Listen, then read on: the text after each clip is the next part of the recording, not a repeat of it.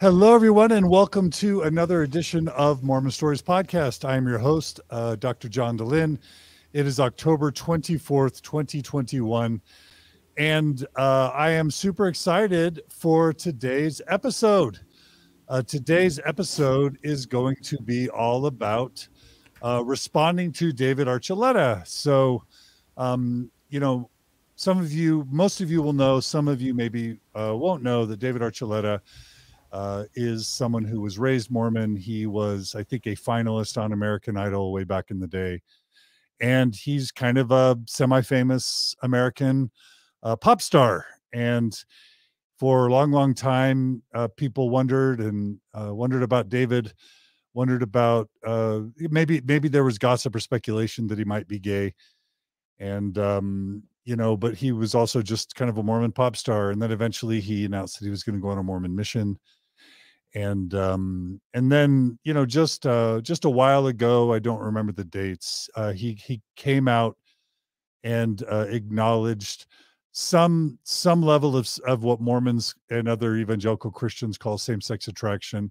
He also talked a little bit about uh possibly asexuality or inter uh intersex and um you know he kind of uh, uh, publicly announced what the world uh, what what many people had had known or wondered or speculated about for a long time that he certainly belongs somewhere on the lgbtqia spectrum.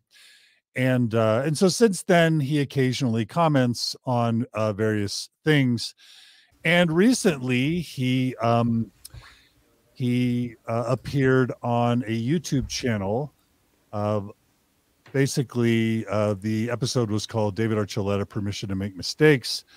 And it, it was uh, with the host mayim bialik that uh, that interview that, that david archuleta did has sparked some interest and some uh, discussion.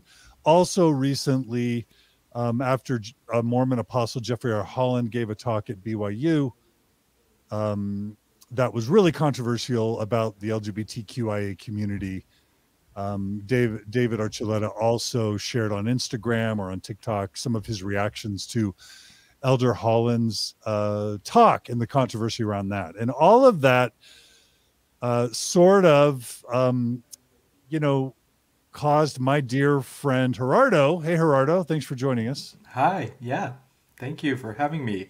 I, I do want to highlight Kara's uh, comment it's she said I slept on the sidewalk to see David at the American Idol finale, and I can't believe that that isn't enough credibility to get me on this podcast. Do we want? Well, I mean, Kara's welcome. Kara's welcome yeah, yeah, for sure. So, Kara, you know how to. Kara, you know how to log into uh, Streamyard, and if you want to join us, we would love to have you, Kara. Yes, hundred percent. Um, I try not to. I try not to bother Kara on the weekends as much as I can because she works so hard during the week. But yeah, but Gerardo, you have a full time job. Anyway, I was just going to say that Gerardo, for those of you who don't know Gerardo, Gerardo works uh, part time for the Open Stories Foundation. He's in charge of the lovely cinematography that you'll see. He also co-hosts from time to time, and um, you know he produces content for us. And if you uh, if you look back, listeners, uh, you know a few months ago, Gerardo released his own Mormon story where he talked about growing up uh, Mormon and gay in Mexico, going to BYU, Idaho, serving a mission. And so, Gerardo, we just uh, always love to have you on Mormon Stories. We're grateful when you help us uh, create content that's useful and interesting to people. And you kind of thought that that this was something that you felt called to want to discuss. Is that right? Yeah, yeah. When, when I actually saw this uh, video of David, um, and I started watching it, and uh, as soon as I heard a couple of things that he had said, uh, I just turned it off, and I, I was not very happy about it. Uh, but then when you brought it up, I was like, oh yeah, I think for sure we should definitely discuss it. And then I watched the whole thing, and there were some really interesting things. Um, I think it was very interesting that. Um, I don't know if I'm getting ahead of myself, but uh, the podcast that David went on, um, he he went on a podcast that it's not a Mormon podcast. So the host and the co-host of the podcast are not Mormon or not. Uh, they they know about the Mormon religion. I think because they have had um, members of the church uh, on the podcast before. Uh, but it was interesting that they are uh, they're not hundred percent religious. So they they were calling out David a couple times on some things that he was bringing up, and I thought that was very interesting. And I was like, yeah, we for sure should um, make a reaction video on on the things that David said. I love it. I'm getting I'm getting deeply criticized by listeners. Uh, rightly so. Jenny writes, John, you are murdering the pop culture references. And then Kara writes, uh, Blossom, psh, you need a millennial. It's true. Kara, save us. Um, uh, but but I, I will go ahead and do justice to Mayim Bialik. Um, Mayim, Mayim Chaya Bialik is an American actress, game show host. I think she was just selected to co-host Jeopardy with um, with in- interestingly fellow Mormon Ken Jennings. Anyway, she's an American actress, game show host, and author. Uh, she played the title character on the NBC sitcom Blossom, so she wasn't on Saved by the Bell. I, I, I, I we do need millennials on this show. Gerardo, you should have corrected me. No, I'm just kidding. Uh-uh. Um, she also played neuroscientist Amy Farrah Fowler on the CBS sitcom The Big Bang Theory. That's the TV show that I was mentioning. Um, and then uh, she also has, um, yeah, she's going to be co-hosting um, Jeopardy and um, and she has a popular YouTube channel. So uh, that's that's a more that's doing Mayim Bialik a little bit more justice. Um, so thanks, listeners, for keeping me a little bit more honest and accurate. Gerardo, really quickly, we even when we just announced that we were going to be doing this episode, we started getting some criticism, and I think it came on the heels of that important episode that we did talking about Charlie, um, Charlie Bird, mm-hmm. and um, Ben Schilaty. Ben Schilaty, yeah. And people were just like, it's so rude. Why would you? Why wouldn't you just bring David Archuleta on instead of just trash him when he's not around? Other people just feel like you shouldn't ever, no one should ever talk about anything David Archuleta says if he's not there to defend himself. So I thought it was important for us to kind of begin with with some disclaimers and some uh, intentions. And i'll i'll i'll respond to the first one because it's directly related to me. Um, i have directly invited david archuleta onto mormon stories in the great tradition of of people like um, benji schwimmer former so you think you can dance champion and tyler glenn lead singer of neon trees. I have uh, warmly invited david archuleta onto mormon stories. I hope he'll accept the invitation uh, I promise to treat David kindly and respectfully as I do all my guests. So uh, just just to dispel any rumors that we would just attack him but not uh, invite him on, he's been invited, and we hope he comes on. Gerardo, do you want to address kind of the other intentions that we have since this kind of came from you? Yeah, so um, yeah, we definitely want to address the fact that this is not an attack. Uh, we we're just going to be talking about what David said. And I think as um, as someone who was part of the, of the same religious organization that maybe had a different experience than David, uh, I think I, I I could give some perspectives that maybe David haven't hasn't seen or didn't experience that could also talk to other people's experience um, and uh, that uh, in as a matter of fact, I think the the most common reaction for LGBT people, especially at the time uh, David came out to his family, were were not as as great reactions, you know. So uh, so I just want to give my my perspective. John, you've had you've done great work regarding um, just this same topics. Uh, we know that your PhD uh, dissertation was all about this subject. So um, I think we we are just giving our perspective on the questions that David was asked on uh, and and the way he experienced uh, coming out as a Latter Day Saint. I love it. So yeah, we definitely want to be kind, and we're gonna be respectful, uh, and I think because David is a public figure, we we feel like it's it's a, it's healthy for us to have a, a, an open conversation about what he says, especially when it affects um, or it involves other vulnerable um, populations. Yeah, absolutely.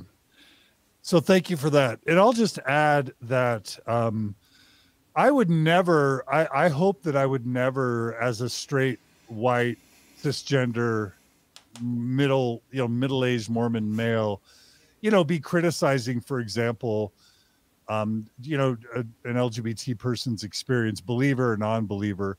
And that's why gerardo it's really important that this kind of i feel like it kind of came from you. And i feel like you're going to be the main person uh, talking about this. And again the point isn't to criticize david. It's just to have an open dialogue. And if david is a public figure. He has influence. Uh, believing Mormons are going to listen to him. Non Mormons are going to listen to him. And there's a lot at stake in what people think and feel about the Mormon church, both in and out of the church. And and yeah, I feel at least somewhat qualified to be a part of this conversation just because I have a PhD in clinical and counseling psychology and my entire dissertation was on the LGBTQ Mormon experience and I've probably published 12 scientific peer-reviewed journal articles on this topic. So I feel like I I have some things I might be able to add, but Gerardo, obviously you're going to be leading this discussion. And what, what I've asked you to do is to tease out. We're not going to play uh, the entire interview because it's an hour long. So I asked you, Gerardo, to kind of select just some of the clips that um, were most interesting to you, and we'll have you respond to them. And then we're going to also one of the reasons we do a live stream is because we want to invite listeners to give their feedback and thoughts and suggestions. So uh, we really yeah. um, want want this to be a dialogue. And again, we hope in the future David uh, would come on.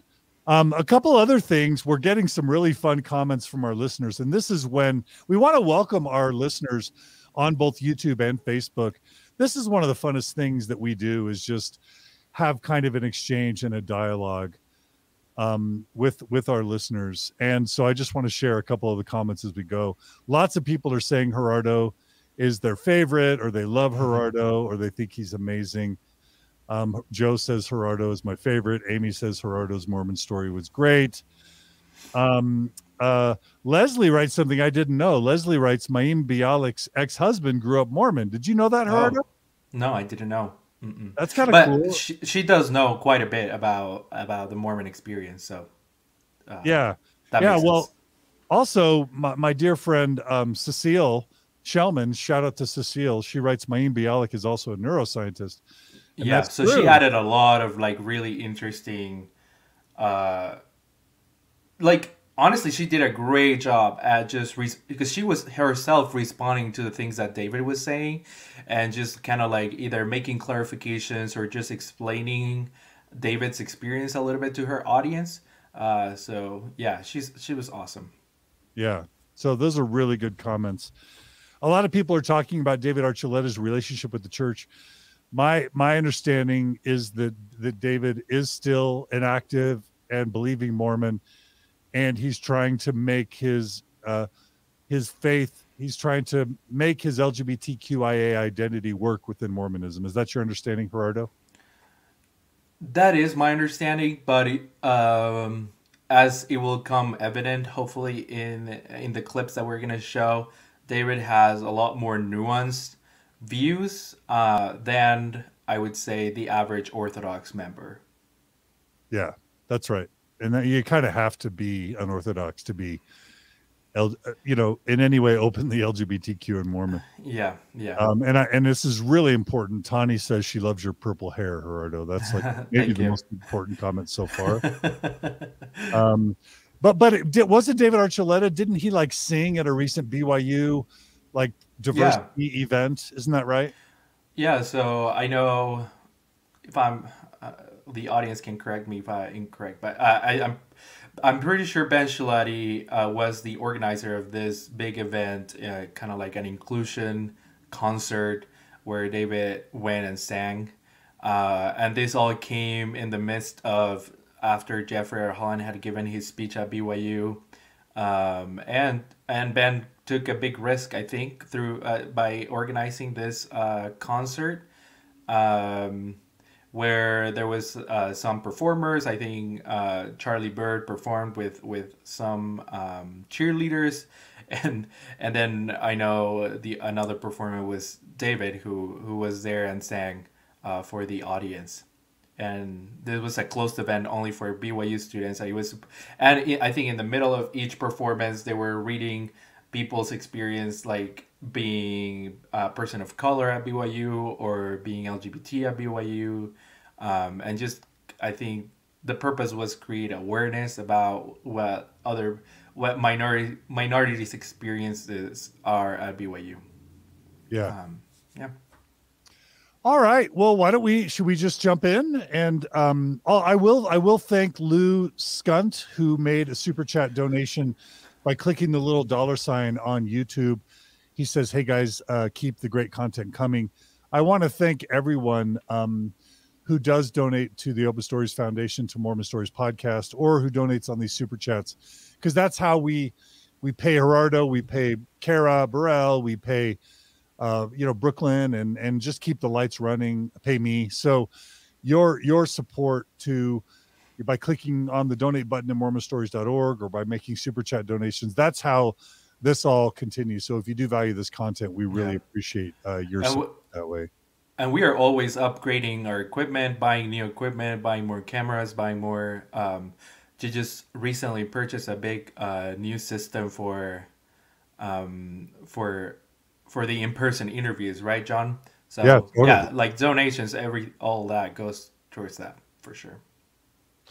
Yep. So all right, so let's go ahead and begin. Um, what I'm going to do, Gerardo, is you, have given me some time codes for some various uh, excerpts from the interview and some some various topics. So.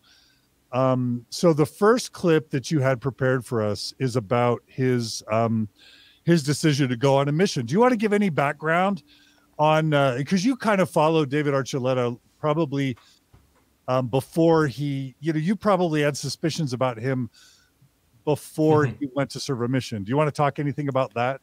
Yeah, I think. Well, as growing up Mormon um, and being around David's age, uh, I followed him when he was an American Idol for sure. Even being uh, raised and born and, and growing up in Mexico, uh, we still heard about David Archuleta.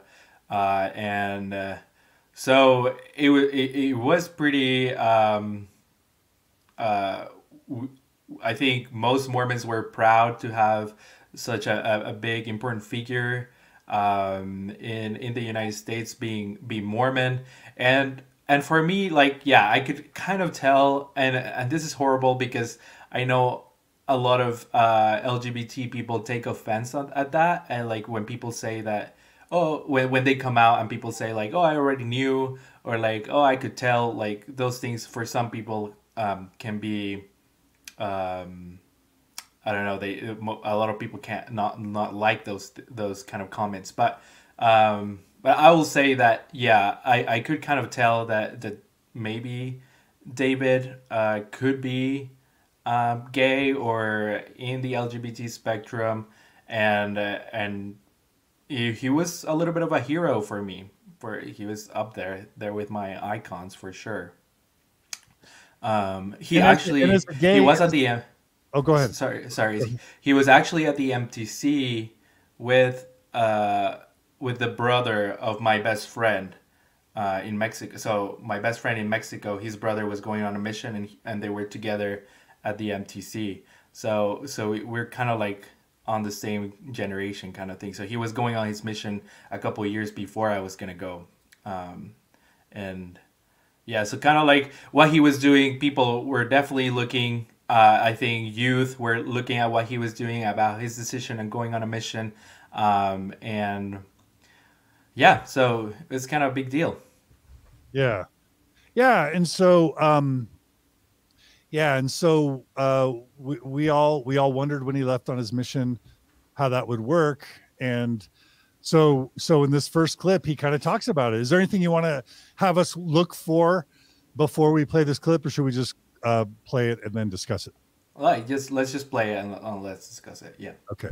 All right. So this is from Mayim Bialik's uh, breakdown YouTube channel, David Archuleta, talking about his decision to go on a mission. My mission was an opportunity to just be like, okay, let's take a break. I was like, am I nuts for doing this? I don't know if I should even be doing this. What am I doing? What the heck is going on? Everyone is like saying I'm ruining my career.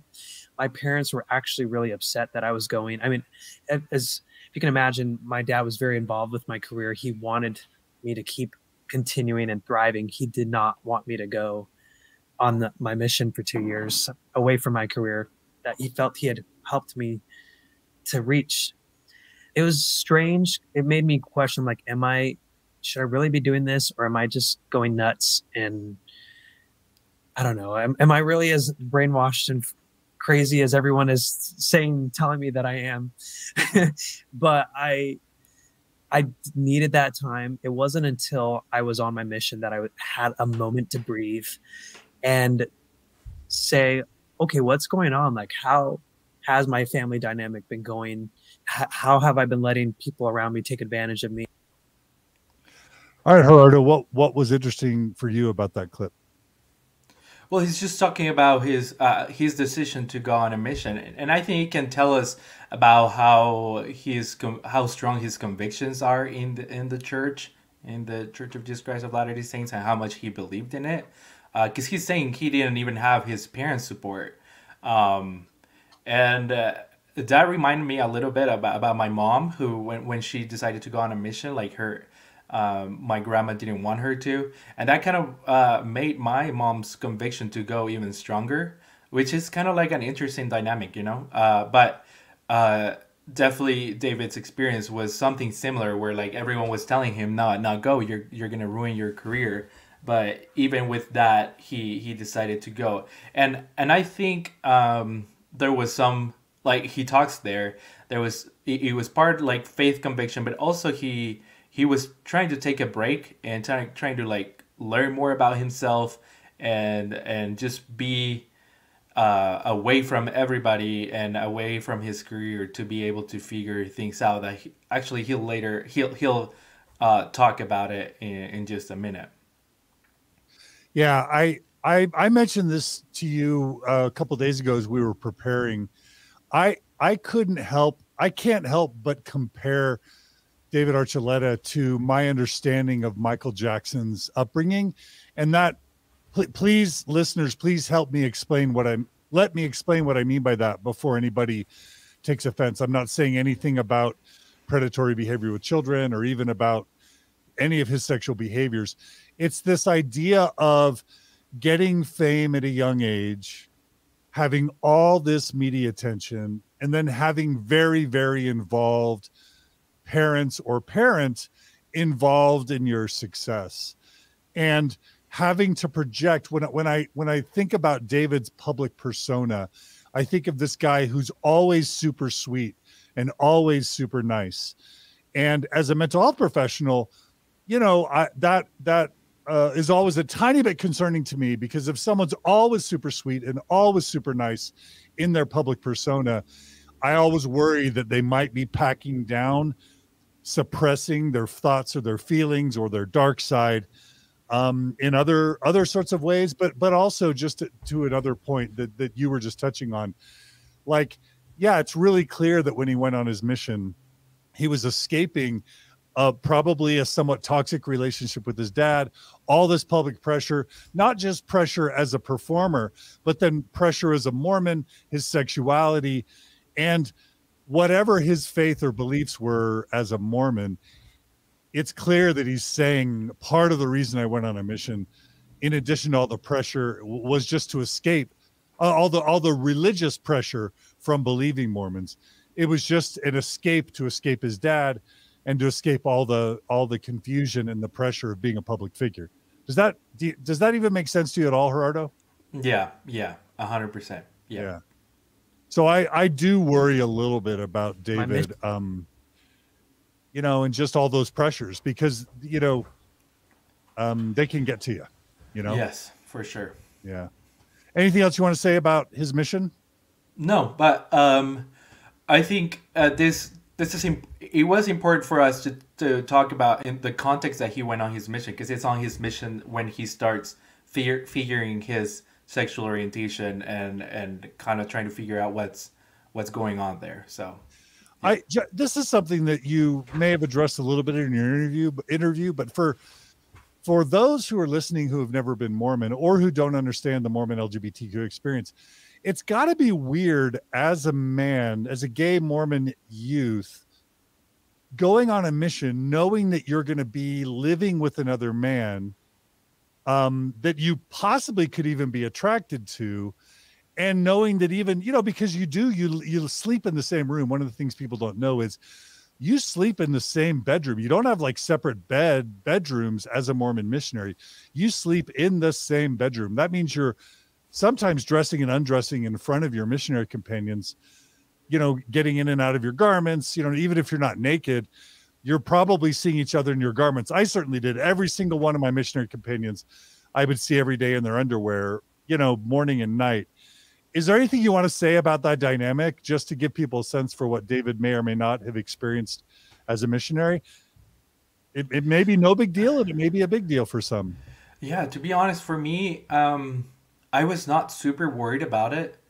Um, but my experience was a lot different because I was able to come to terms to my for with my sexuality and and and and and, and just figure out like I don't know. For me, I didn't really have attractions towards people who were straight. Like as, as like I had straight friends, guys, uh, who I was I was not attracted to. So that was kind of so I was not super worried about that. Um, and I think David he hadn't figured out his uh, sexual orientation yet. I think he started coming to terms with that on his mission. Uh, but it's definitely I mean, it happens, you know, like uh, it's it's human nature. So it is definitely an interesting dynamic that that the church uh, puts uh, the like this 18 year old guys and especially if they're LG, in the LGBT spectrum.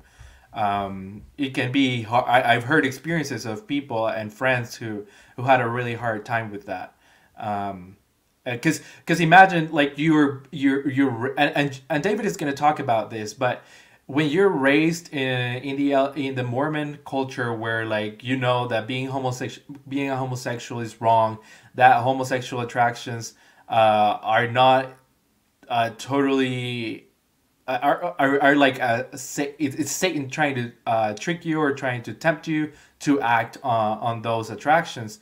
Um, so there, it's kind of even though the church says like the attractions are not the sin, it still has some relation with the devil, with Satan, and with like something that's wrong and evil. Uh, because acting on those attractions will will will get you in trouble.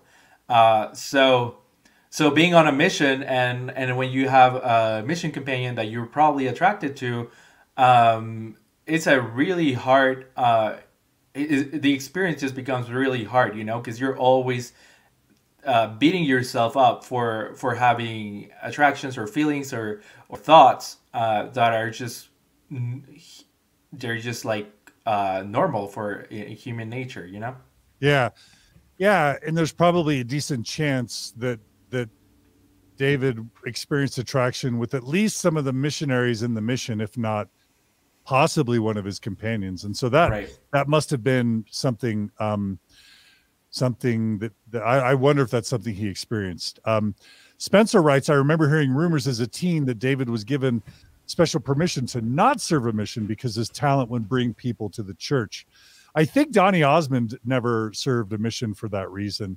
And I also mm. think Steve Young, the American football player Steve Young, um, never received a, never served a mission as well. So I mean, I do think that's possible that that David didn't have to, but that he decided to anyway comment elizabeth grogan writes i agree with the michael jackson childhood comparison michael had to perform from age four he never had a choice or a childhood um so hmm. uh you know those those are some some interesting or valuable comments um from our listeners okay oh one more john sargent writes i was terrified to go on a two-year mission Mormon mission because I knew that I would be super attracted to other missionaries, including my own companions. So I didn't go on a mission. Um, thank goodness. Last, yeah. thank you for sharing that, um, John Sargent. The last comment I'll make really quick um, is that we recently did an episode with uh, McKay Johnson on Mormon Stories podcast, where he talks about being um, sexually molested by a missionary companion, and and Kara Burrell uh, was the main interviewer on that episode, and it's a really powerful. I mean, I was really touched by McKay's willingness to be vulnerable as a man. Sometimes there's this toxic masculinity where men don't talk about abuse on missions. McKay was willing to go there. So huge props to him. And listeners, if you ever want to hear what that might be like, not to in any way to associate the LGBTQ experience with with abuse and molestation, that's not a comparison I'm trying to make, but it is something that has happened before. I refer you guys to that episode. Yeah. All right, let's go on to the next uh, clip where where David talks about his sexual attractions. Anything you want to say before we play this clip, Gerardo? No. Okay. Play the. Let's roll it.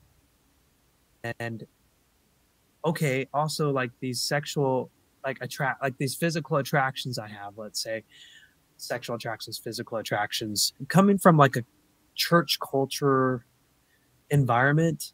There's a lot of people who think like, oh well, it's if you just don't pay attention to that and don't give in to your feelings, you'll be fine. Like you won't you won't feel the attractions. You at least that was like a it wasn't like doctrine, but it was like just culturally accepted. And so I thought, well, if God doesn't want me to have feelings for guys, then if I dedicate my life to Him, I, I probably will come out okay and you know, he'll probably take care of those feelings that I'm not supposed to have. If if it's a commandment to not be gay. Okay, Gerardo, tell us uh, what your thoughts were on on those comments.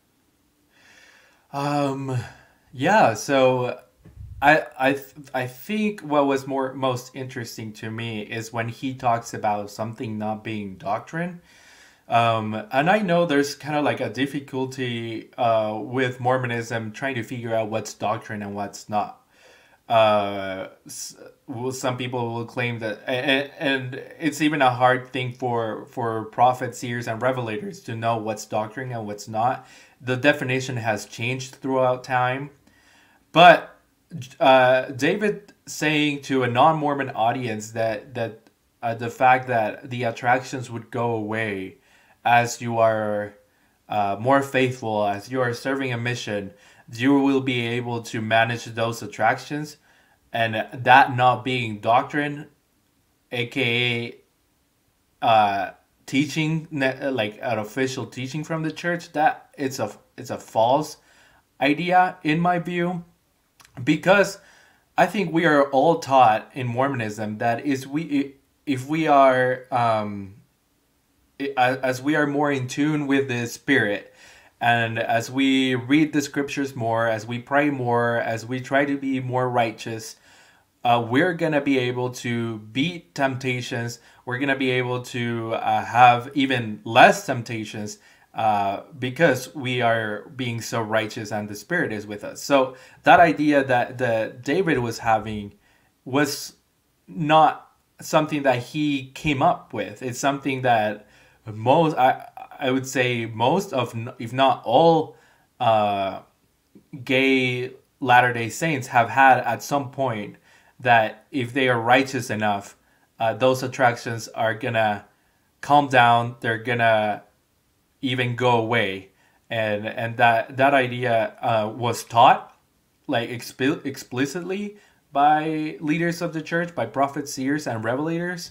Uh, it has not been emphasized in the last few decades. But um, so I, I did want to make that clarification that, that David uh, main, is either not informed about what the church has said in the past about and also what the church hasn't retracted because there's a lot of things that the church has said um, that they haven't retracted you know so, so these ideas are still around. They're still in the culture. Uh, bishops and stake presidents may still be teaching that to whenever like a, a, a gay Latter Day Saint comes out to them. So, Um, yeah. Yeah, and I'll just add, uh, you know, we've done several episodes on Mormon Stories podcast about the church's history with conversion therapy and reparative therapy, and um, you know, all miracle of forgiveness, and you know, I, I reference check out my interview with Benji Schwimmer, the first interview, my interview with Tyler Glenn, so many interviews. Uh, yeah, the church just for so long has taught that even to have the attractions is evil, and that the more righteous you are, uh, the more you can make this go away and it's led to depression, anxiety, and suicidality. And ironically, my master's thesis was on something called scrupulosity, which is hyper religiosity, like obsessive compulsive disorder in a religious context. And one of the discoveries I made in my dissertation research is that so many LGBTQ Mormons end up with scrupulosity or religious OCD because, uh, at least in part, they're thinking if I can just be super righteous, God will take this away from me. Yeah. And I'm guessing that that you experienced that, Gerardo. I know you did because yeah. you talked about that. And I'm guessing that David had that hope as well. Yeah. And I think in your also your PhD dissertation, you found that the most the method that LGBT uh, people use uh, for the most common method that they, for of conversion therapy that they use is being more righteous is like clinging to Jesus, is going to the temple, reading the scriptures more, praying more. So, uh, the the the, the fact that most uh, members of the church that are gay have used or used this method, um, I think um, gives us an idea or, or helps us understand that this is not something that people are just coming up with or making up in their minds uh, this is rooted in Mormon teachings, in Mormon doctrine, and in in Scripture. Yeah. So, yeah. Yeah. Um, yeah. What, what, are your thoughts about him saying that it's not doctrine? W- what do you mean?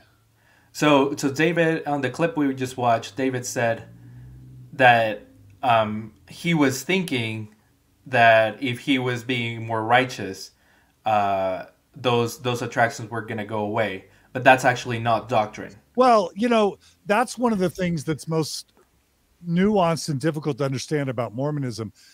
There's this weird paradox that doctrine is the most important thing in the mormon church uh, and the mormon church leaders work really hard to never be pinned down on what doctrine actually is. Because if you think about it so much of what Joseph Smith taught in the mid uh eight, you know 1800s and then to, to follow on Brigham Young so much of what they taught as doctrine things like polygamy things that you can't you know become a god and and and make it to the celestial kingdom and become exalted unless you are are in a plural marriage um all the dynastic sealings you know just there's you know blood atonement there adam god theory there have been so many things taught as doctrine by Mormon prophets, seers, and revelators. Think about the entire book, Mormon Doctrine. We had a apostle named Bruce R. McConkie come out with an entire book called Mormon Doctrine. Joseph Fielding Smith came out with all these books called Doctrines of Salvation. The whole black priesthood ban uh, was taught as doctrine that blacks were less valued in the pre-existence, and so um, you know that that's why they they couldn't have the priesthood and be Mormons in full good standing you know, for over a hundred years. All that stuff was taught as doctrine, and then it changed. And so the brethren realized that that number one, people's beliefs are rooted in doctrine, but number two, so much in the past that's been taught as doctrine has changed. And so the brethren really want it both ways. They want members to believe that there's really solid doctrine. They want members to obey what the church leaders say and look at the church leaders as prophets, and revelators. And they they they don't want to be nailed down. And so what you've got is Spencer W. Kimball, Boyd K. Packer, all these Mormon apostles who over the past several decades have taught that it's a sin to be gay, have taught that it's that attraction is temptations from the devil, and that have sponsored conversion therapy, and um, that have taught that uh, you know if you're just righteous enough, it'll go away, and that have approved and sold endless books uh, and, and sponsored evergreen uh, you know, the 501c3 that encouraged conversion therapy and, and sat on their board and gave them church facilities to meet.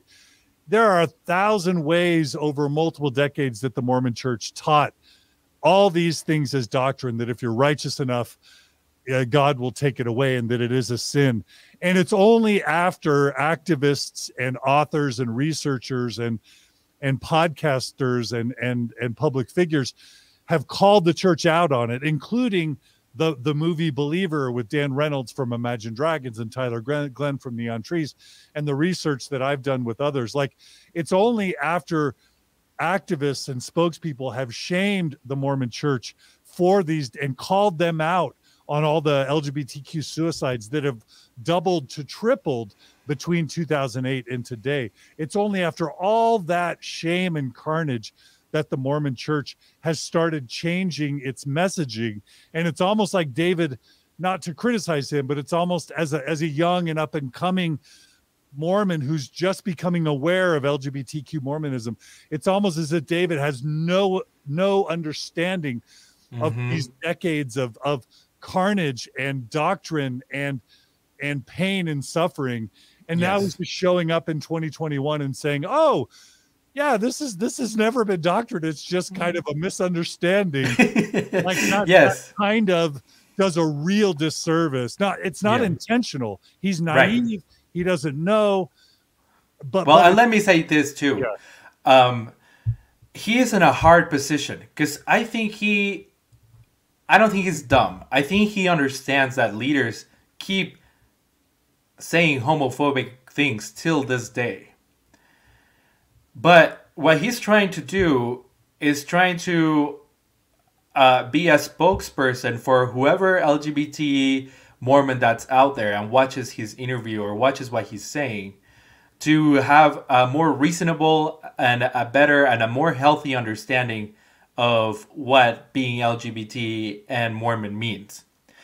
And by doing this, he is either gaslighting himself or he's gaslighting everyone else who has had a different experience or a different understanding uh, by trying to help and trying to move the needle. And and because you know as a public figure if he goes out and says oh this is actually not doctrine and then a new crop of lgbt youth comes and watches his interview they're gonna have like a more healthy understanding and a more uh, a, a more healthy view of what being gay means to them you know so it, it, it's, it's a hard situation to be in but for me and my personal opinion the healthier and the most honest thing to do is recognize what you're saying john that wrong things have been taught in the past as doctrine and that the church is in a different place now or um, and that this is the place or this understanding that i have come to uh, and that leaders or whatever has helped me to to arrive to. Um, but but trying to absolve the LDS Church and absolve the brethren from any responsibility of of these ideas uh, being in the mind of LGBT members, um, it uh, to me it's not honest. But yeah, couple comments from listeners. CPU Alpha writes, I recently told my dad I'm out of the church after the way he treated my gay brother all these years.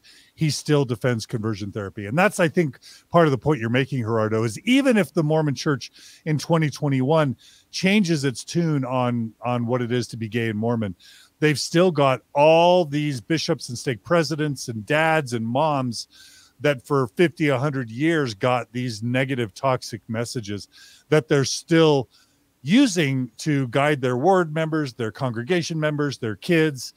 And until the church does what Dallin H. Oaks says, which is to apologize and to and to clarify the record, and Dallin H. Oaks is on record, Mormon Apostle Dallin H. Oaks is on record as saying we don't apologize, then then even if the church says the right things now, there's still a lot of damage um, yeah. going on. A couple other quick comments. Caitlin writes David has a more public voice than most people. He seems like um, such a gentle human, and maybe he realizes that his voice could make a small change in the LDS community. Um, good for David for being brave. I want to agree with Caitlin here that we we are glad when new LGBTQ voices come that are faithful come online and try and advance the conversation. Are, aren't we, Yeah. Gerardo? Yeah, for sure. Yeah. Also, Newton writes, I was a very dedicated and hardworking gay missionary.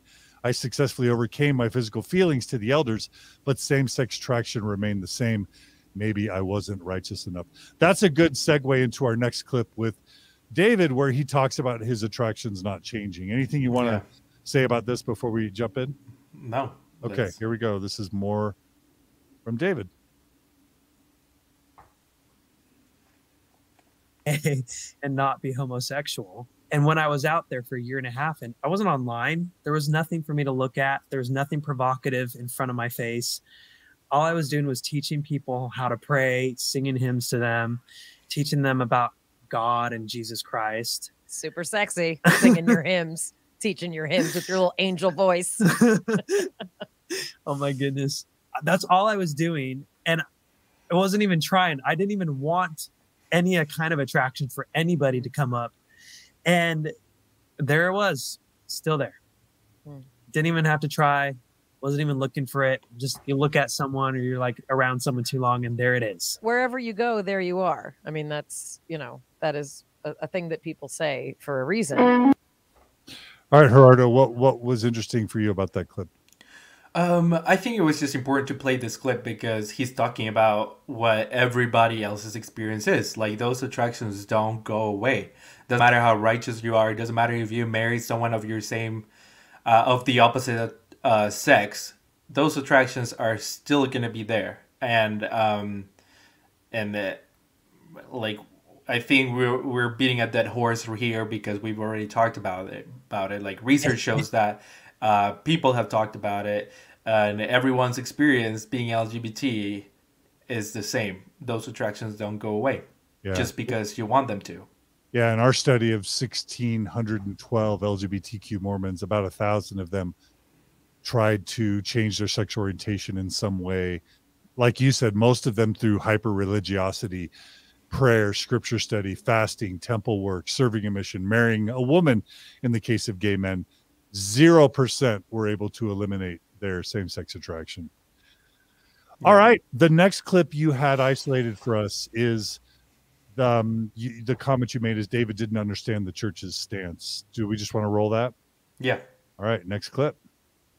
Is the first person that you spoke about this to, is it true that it was an elder? It was my mission president. Tell us about that conversation, David. It was a year and a half into my mission. And that's when I realized, oh my gosh, even when I'm trying everything I can, this is going to be here whether I want it to or not. And that's when I was starting to feel like devastated. And I didn't know what I was going to do because my idea of what was okay with feelings was just heterosexual feelings. I I didn't know exactly what the church's stance was on feeling attracted to the same sex or if you're bisexual or etc. I my idea was just if if homosexual acts are not okay, that must also mean feeling homosexual attraction All right, Gerardo, what are your thoughts there? Yeah, so um, this is an interesting idea because uh, he. I just wanted to talk about how these things are not necessarily taught. And, and, and the time David was uh, growing up in the church, at the time I was growing up in the church, these things were not being taught. Uh, in Sunday school, they were not being talked about. Uh, they were scat like if you wanted to find what the church's position was on these subjects, you had to either confess uh, or go and come out to your bishop as stake president and hope that they understood what the church's position was at the time, or find this like weird, um, kind of hidden, uh, not very uh, promoted and hard to find pamphlets that the church would uh, would have kind of like the pamphlet God love God God loveth his children and and pamphlets like that that talked about the church's stance on on homosexuality. So that's that's what David I think his experience was. He just didn't understand what the church uh, position was at the time, because as we know, the church's position has changed. You know, uh, at the time of Spencer W. Kimball, even just the attractions was uh, considered a sin, and you could be excommunicated just by for having the attractions and not being able to overcome them. Um, you could not, you, especially like Greg Prince tells us that in Spencer W. Kimball time, going on a mission having those attractions was uh, was pretty much impossible if you were honest and came out to your to your bishop or stake president. So. Uh, so yeah, David is just talking about not knowing what the church's position was at the time. Yeah, and and this is something where I really do hold the Mormon Church responsible because they've known about the issue of of same-sex sexuality certainly since the 40s and 50s and they've known that they had bad policies and teachings in the past because as the emergence of the Mormon and Gay or the Mormons and Gays website came out, you know, five or 10 years ago, whenever it was, though that that was a conscious decision on the church's part in a very select uh, way, um, in a very limited way, to have a way to say to the public, hey, look, we've evolved, our views have changed. But what they've never done is like developed this curriculum where, like in in Sunday school or in priesthood or in elders quorum, you know there's just this formal training which you know they could what they could do is sit down all parents all bishops all stake presidents all mission presidents all youth and say look kids develop some you know some kids develop same-sex attraction and it's not a sin to have the thoughts and feelings. Um and you're not bad. And you know here's how you should look at it. And, and here's why god loves you. And here's your place in the church. But they don't do that because the Mormon church is afraid to talk about sexuality. They believe that if you talk about sexuality, that's going to encourage people to become gay or to become sexually active. And so I, I really do think it's partly the church's fault for just not not coming clean and just training everyone about this. Like the Unitarian Universalists have an amazing curriculum on healthy sexuality that they give to youth and young adults called Our Whole Lives or OWL. The Mormon Church in in one month could solve this problem by training the entire church on you know dispelling all the myths about homosexuality but they don't the only other thing i want to say gerardo is that is that it, because the church has a vacuum of of eh, sex education mm-hmm. and you, as you're a mormon youth you're reading the scriptures and you're reading things like as a man thinketh you know in his heart so is he um, to have uh, sexual thoughts is almost as worse as acting on them. Yeah. You know, there there are comparisons in the Mormon Church to. Well, uh, Jesus said that right on the right. Bible. So so it's not like it's not crazy to think that having these attractions was wrong as well. Yeah. yeah, and then there's just this idea in Mormonism that sexual transgression is next to murder in mm-hmm. evilness. Um, and and and so a Mormon youth is just going to, a gay Mormon youth or a lesbian Mormon youth is going to read those scriptures, Mormon scriptures, Bible scriptures, hear talks, and they have nothing else but to think they're awful and evil, even if nothing's ever taught, right? Yes, 100%. Yeah. Mm-hmm. And most of the times it's not taught and they never hear about it. Yep. Okay, the next clip is um is about suppressing and forgetting the attraction. So this is a common thing that that gay Mormon youth do is to just try and they try, turn it off. There's that joke, the Book mm-hmm. of Mormon mm-hmm. musical, the song "Turn It Off Like a Light Switch." Just go click. I yeah. imagine you relate to that, Gerardo. Yes, uh, but actually, David's experience is kind of unique. It's something that I've never heard before. Uh, so you'll be able to comment a little bit more on the uh, uh on uh, the psychology part of it because You'll hear. You'll you'll you'll you'll understand once you play the. role. the All right, let's play the clip and then we'll talk about it. Yeah. Is also wrong. What was your fear? Because you know especially um, you know if you if you come from you know a religious community like some people literally have a fear that they'll be punished i mean i'm not putting words in your mouth but was the fear that you might be excommunicated was it that god would punish you you know like what was the fear i didn't think that i would be ex- excommunicated. I just felt like no matter what I did, my path was going to continue in that direction. I was actually never open to myself about what I was going through with being attracted to men because it was something I was trying still to push away. And it just got to one day where I just realized my brain had learned how to push it out of my conscious. So when I would try to like somewhat even confront it in my mind, my brain would forget it. And I'd be like, what was I thinking about? Mm. And the only way that I was able to really confront this fear of mine and this shame was I I felt this like tenderness, like this irritation and my emotions, very sensitive. And then I would just be like, I need to write down how I'm feeling. So I, I wrote down how I was feeling, and that's when it all spilled out. Like all the shame, what was I was going through, my attractions, my fetishes, and like all kinds of anything that had to do with sexual like arousals or physical attractions, sexual attractions.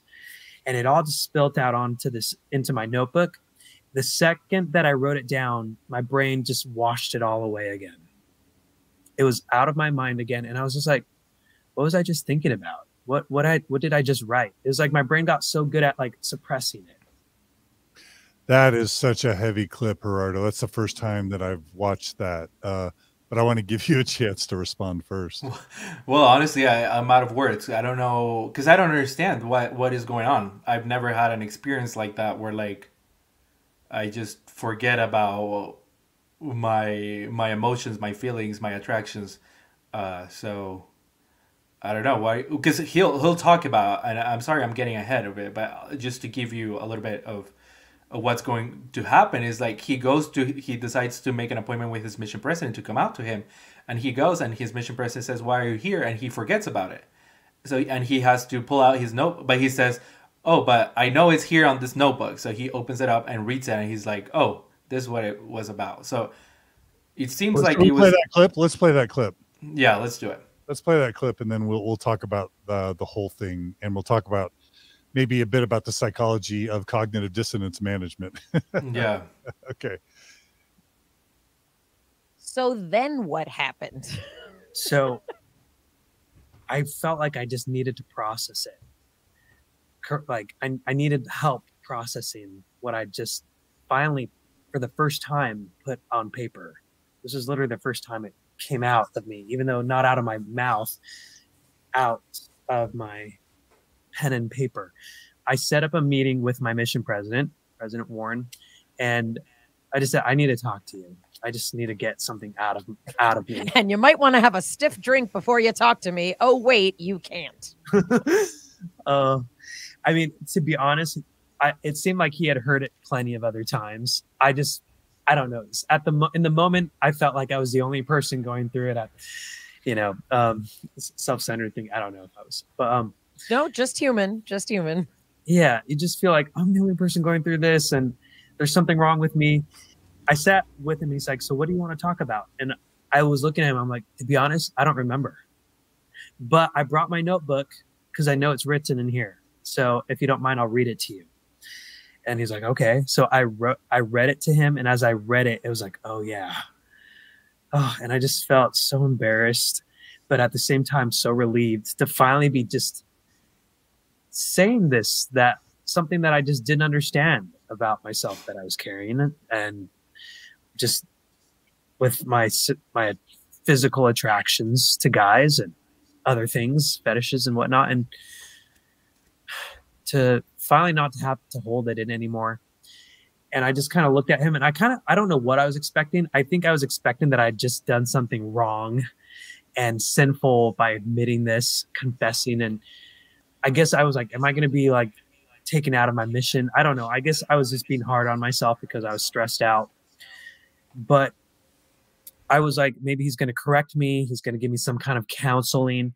But he didn't do any of that. He was just all he said was, "Well, Elder Archuleta, this this is could probably be the most important day of your life."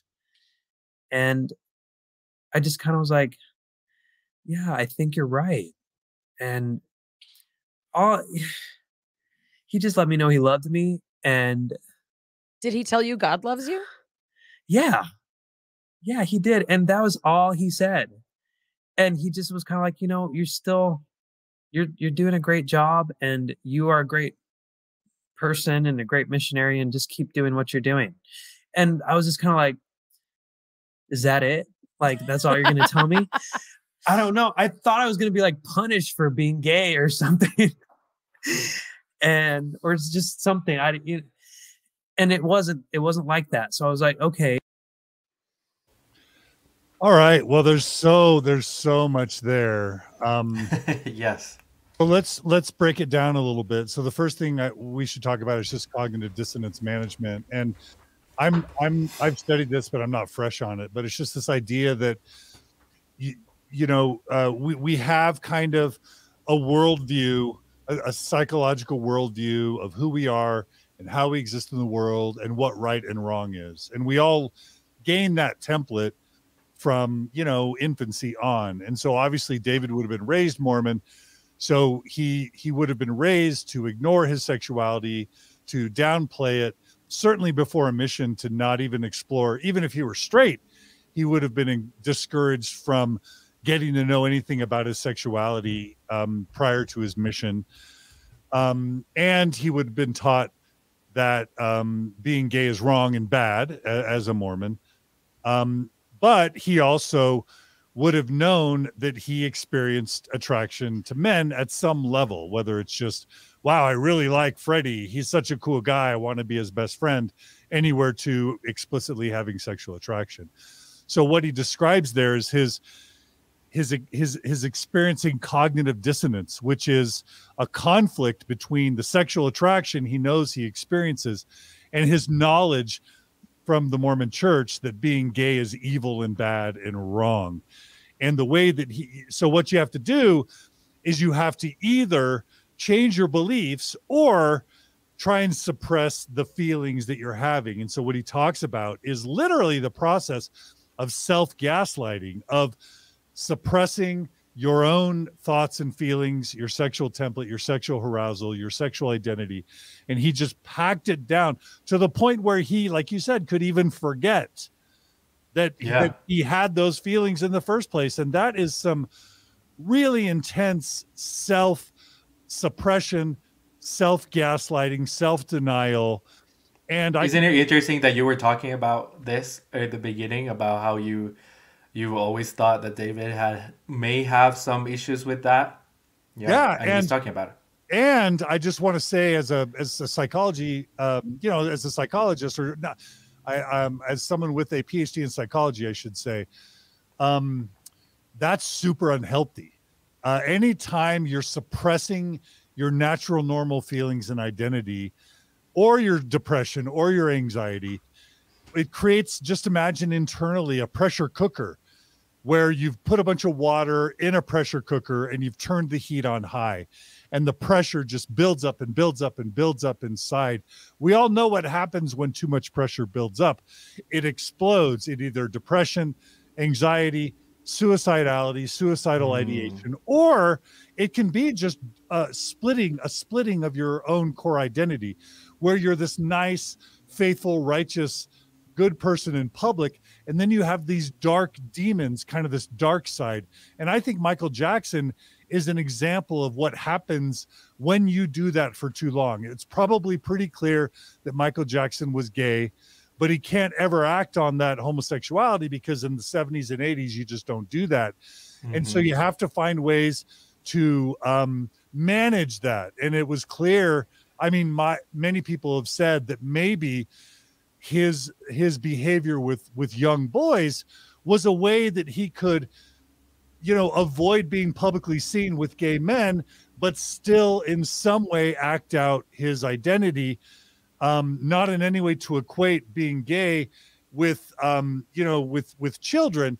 But it's it's it's an example of the unhealthy types of behaviors that can develop when you're forced to um, suppress who you are. That can be a, a, alcohol addiction, drug addiction, and in Michael Jackson's case, he got he in fact got addicted to opiates that, that ended up taking his life. And so yeah. all I can say is it's super unhealthy what he's been forced to do. And I'm really, really happy for David Archuleta that he now feels comfortable starting to come out about all this. But I don't think his journey's over yet. Yeah, hundred percent. Um, and is this would can this be compared also a little bit to when Orthodox members hear from their ex Mormon family members about Joseph Smith's wives and poly- polyandry, and they, the, you know, when like I'm an I, I don't know if I, I found all this stuff, you know, and I lost my faith, and I go to my family member and tell them all this stuff, and then they're somehow able to block it, suppress it, forget about it, and just go on in life and even cling to the church even stronger. Um, is this anything similar to that as well? Yeah, this is it, it doesn't matter what you're suppressing if it's core to your identity, if it's your gender identity, if it's your if it's your sexual identity, if it's your religious doubts, if it's problems in your marriage, if it's things that are unresolved, it doesn't matter what. If it's important to you, if it causes you distress, if it's core to your identity, if, if you're suppressing it, if you're hiding it, if you're compartmentalizing, it is going to it's going to harm your mental health and eventually harm your physical health. And eventually um, other people could get harmed in the process. Newton Yeah. writes compartmentalization will send him a bill sometime in the future and the price is heavy. That's a really um, succinct way to put it thank you newton for sharing that mick jett says catholic priests and i think we all Mm. know what that means Yeah. Many people uh, speculate that Catholic priests are often gay in a religion that doesn't support homosexuality. So they go Mhm. into the priesthood sometimes as a way to escape their same sex sexuality. But we've all heard about Catholic priests, um, you know, exploring their sexuality, not just with each other secretly, but also with altar boys. And there's the whole spotlight sexual scandal, which is Yeah. just an example again of what happens with toxic compartmentalization or of unhealthy dealing with cognitive dissonance. Yeah. Yeah. Um, let's the talk now a little bit about his his mission president and the reaction of his mission president. so on the uh, I- go go ahead. yeah. I, I- go ahead. Please start. Yeah. I think this reaction is becoming a lot more common. I've heard this reaction from mission presidents uh, being like uh, again a lot more common. My I, my one of my best friends have had this like exactly same experience when he came out to his mission president. And in some way, I feel like it makes them cling to the church even more. And not I'm not saying it's bad or good or bad, but uh, having a, a positive experience with coming out to a, a leader uh, makes, uh, in, in my experience of what I've seen, uh, or, or the friends that I've had that have had this experience, made them cling to the church even more. Because now they've realized that they can be loved, that they can uh, be part of the church community and have these attractions and be accepted and be loved. When in reality, we know that I, I have this, you know, because even I dare to say that even this experience is becoming more uh, common among family members as well. So when uh, i- in Utah, maybe other places in the U.S., when like a, uh, a a family member comes out as gay, the family reacts a lot more positively than years or decades before.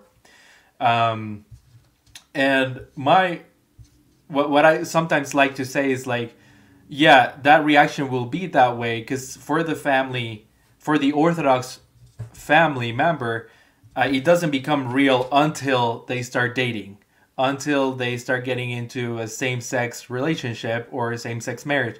Then things change, and then things started going south. But um, anyway, so that's all I, I, I wanted to say that David's experience, although it's unique, it seems to be becoming a little bit more common as well.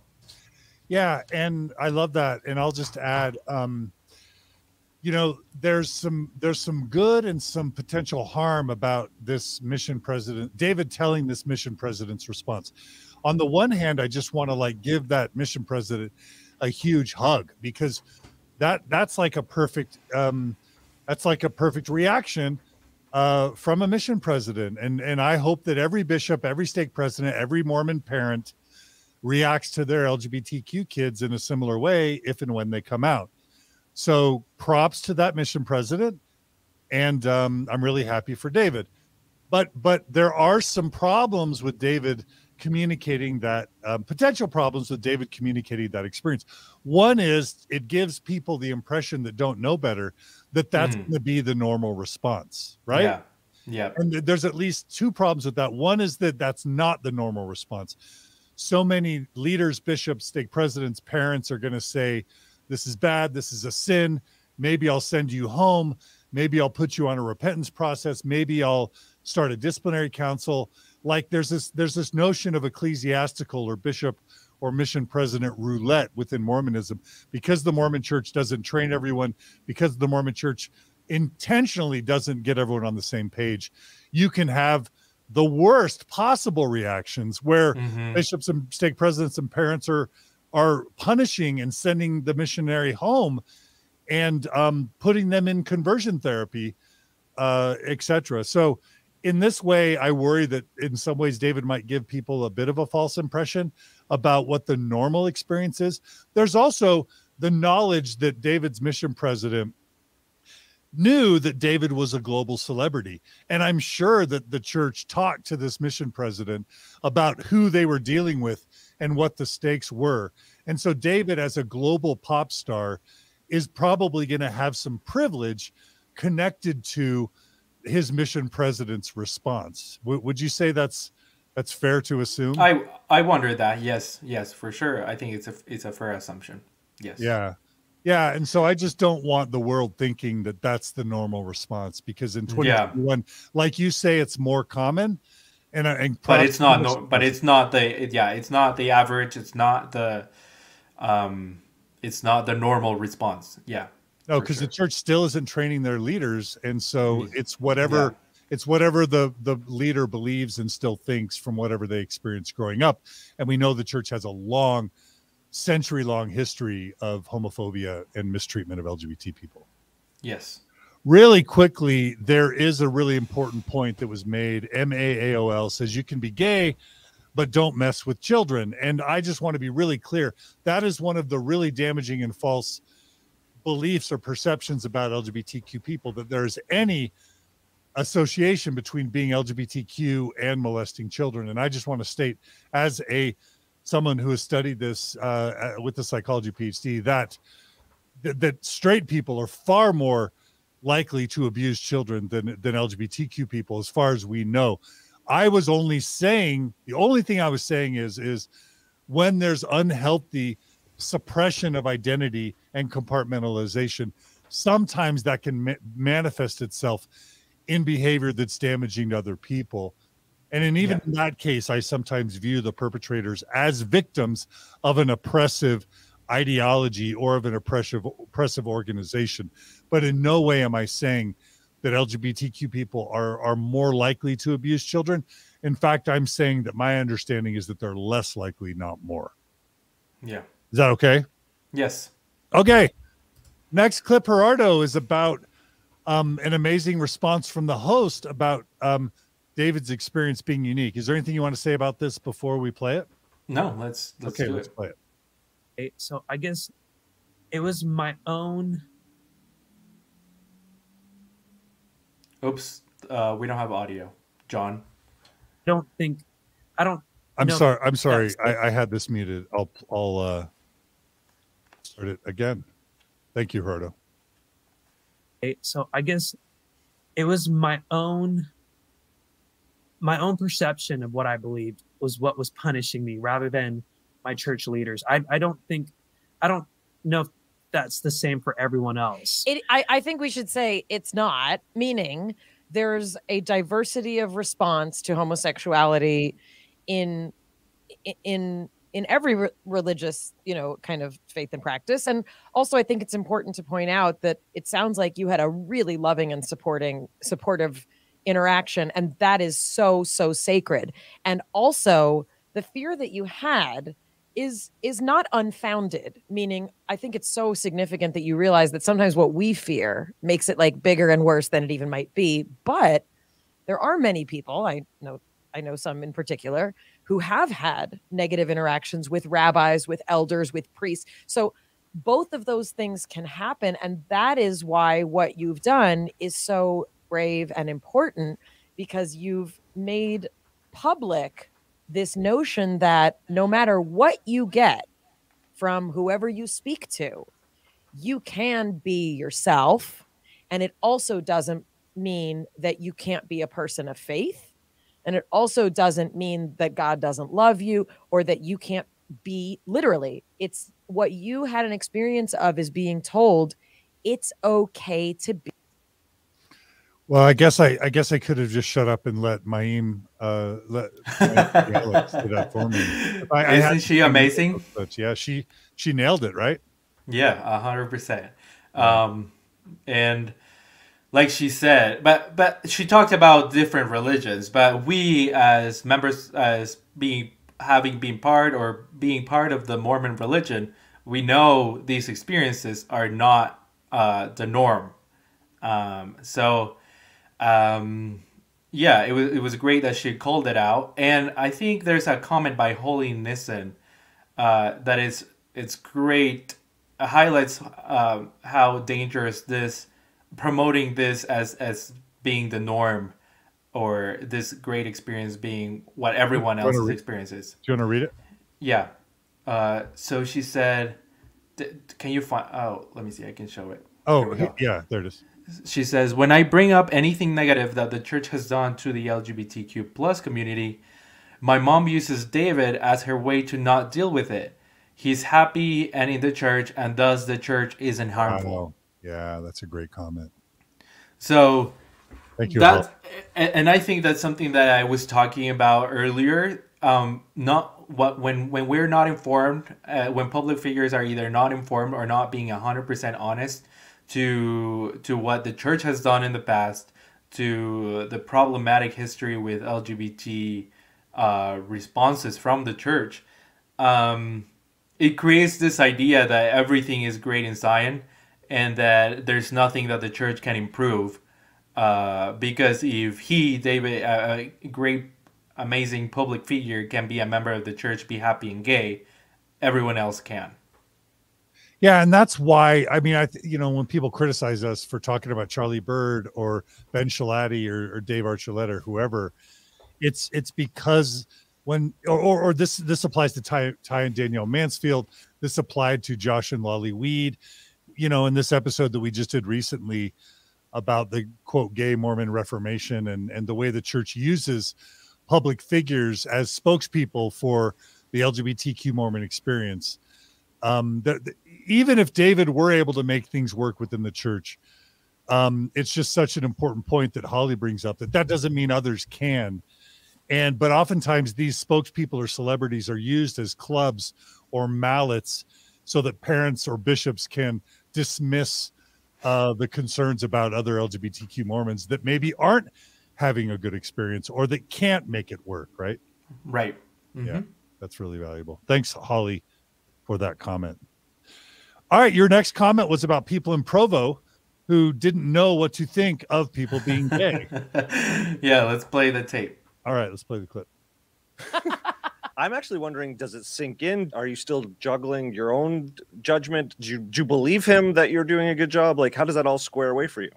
I was relieved, and it just it gave me enough because I wasn't really focusing on how attracted I was to other people.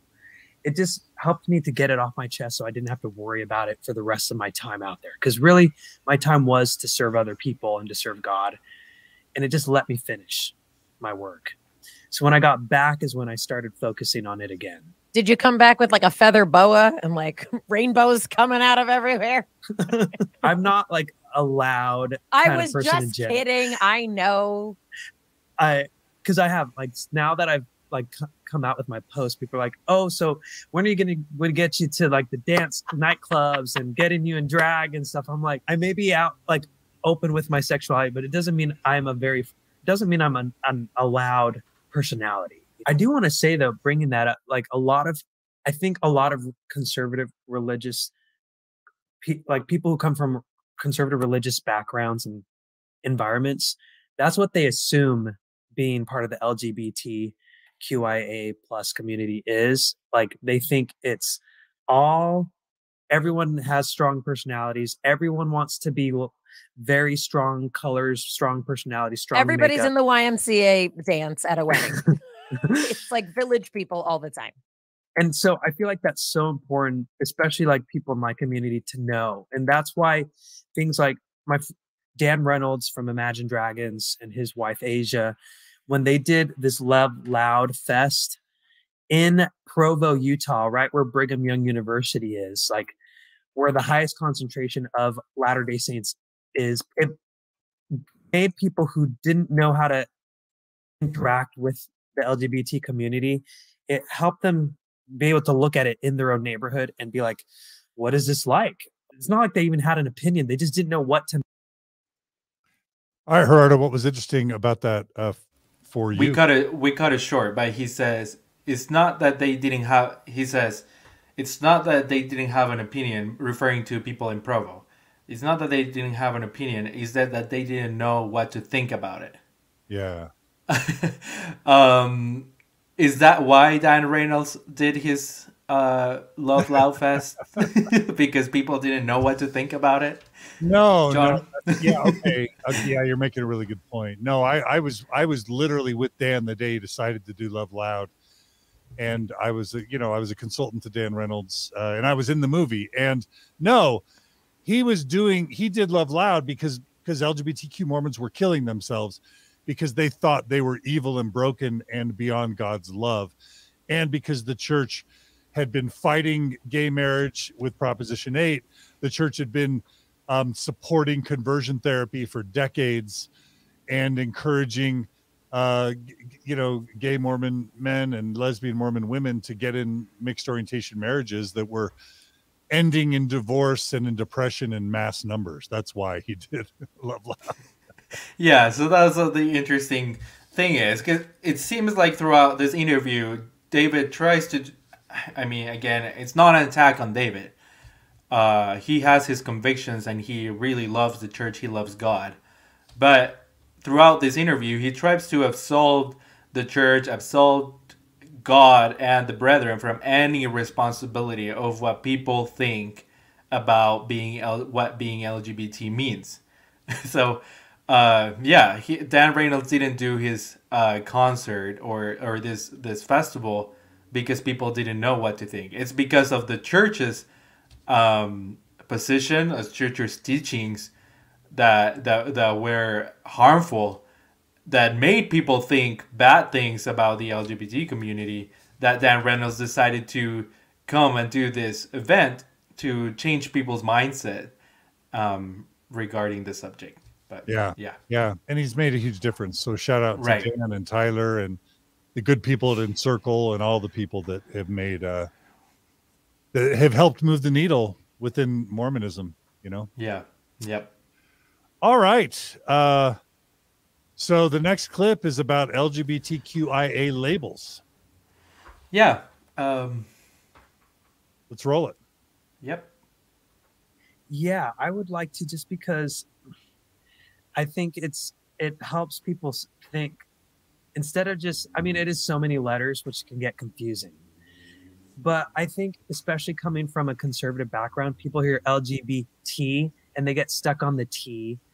And because I talked about my feelings of asexuality in my post, that's that was the first time I even used LGBTQIA. That was literally the first time I ever used it because the A is at the very end. Wow, that's super interesting. Yeah. That like uh, well go ahead. You you give your response. You, you, you go ahead. I think you have more to say than I do. No, I want to hear why you why, you why did you pick that a clip? Um uh, it's just interesting that that that uh, uh, his understanding about the labels and why he uh, chose to use those labels uh, or use use that acronym on his post. I just I just thought it was interesting. Well, yeah, it's super weird and it's not weird at all. So for the long long long longest time the Mormon church would not even acknowledge that a gay or lesbian or bisexual identity even existed. It wasn't until a few years ago that mm-hmm. any Mormon church leader ever even used the term gay or lesbian at best they would say the so-called you know homosexual agenda you know they would use terms like that but they would never just call someone gay or call someone lesbian or call someone bisexual. They wouldn't even use the words. And um, that was decades and decades long. Then they came out with the Mormon and Gay website, which was again in response to being bludgeoned by uh, you know educators and activists and so that was viewed as like this huge breakthrough that just five or whatever years ago that they actually even used the term gay that was a breakthrough but then even after that elder you know elder bednar one of the apostles was literally quoted as saying there's no such thing as a gay or you know homosexual member of the church homosexual member of the church so i mean even he didn't get the memo and um, for, for decades, the church then would just call it same sex attraction, which of course is pathologizing the condition. It's basically saying you're not gay, you're not lesbian, you're not bisexual. You no. experience the illness of same sex attraction. So, and Elder Packer, uh, Elder Packer is on the record on this like leaked video saying that they decided to use same sex attraction because it sounded more repul- repulsive uh, instead of using same gender attraction. So even the use of, of their term, the, the, the, the, term that they decided to use, they selected it purposely uh, yeah. to convey a message. And that, by the way, that's not that's not a Mormon thing. Uh, one of the things that's really disturbing is that for all my life, the Mormon Church like trashed the Catholic Church, cra- trashed the evangelicals for all being like churches of Satan, you know, evil churches. It took hatred or or you know animosity towards gay people to unite the Catholics and the Baptists and the Mormons. Um, and, and they all use this term same-sex attraction as a way to kind of deal with with LGBTQ uh, church members. So so on the one hand, it's it's bizarre that David is saying I've experienced attraction to men since childhood and I've had to suppress it. He's admitting that.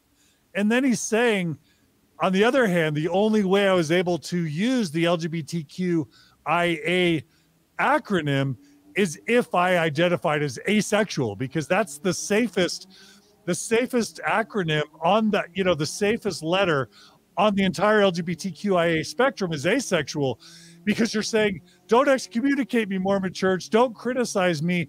It's not that I'm gay even though I, I've already admitted I experienced same sex attraction, I'm asexual.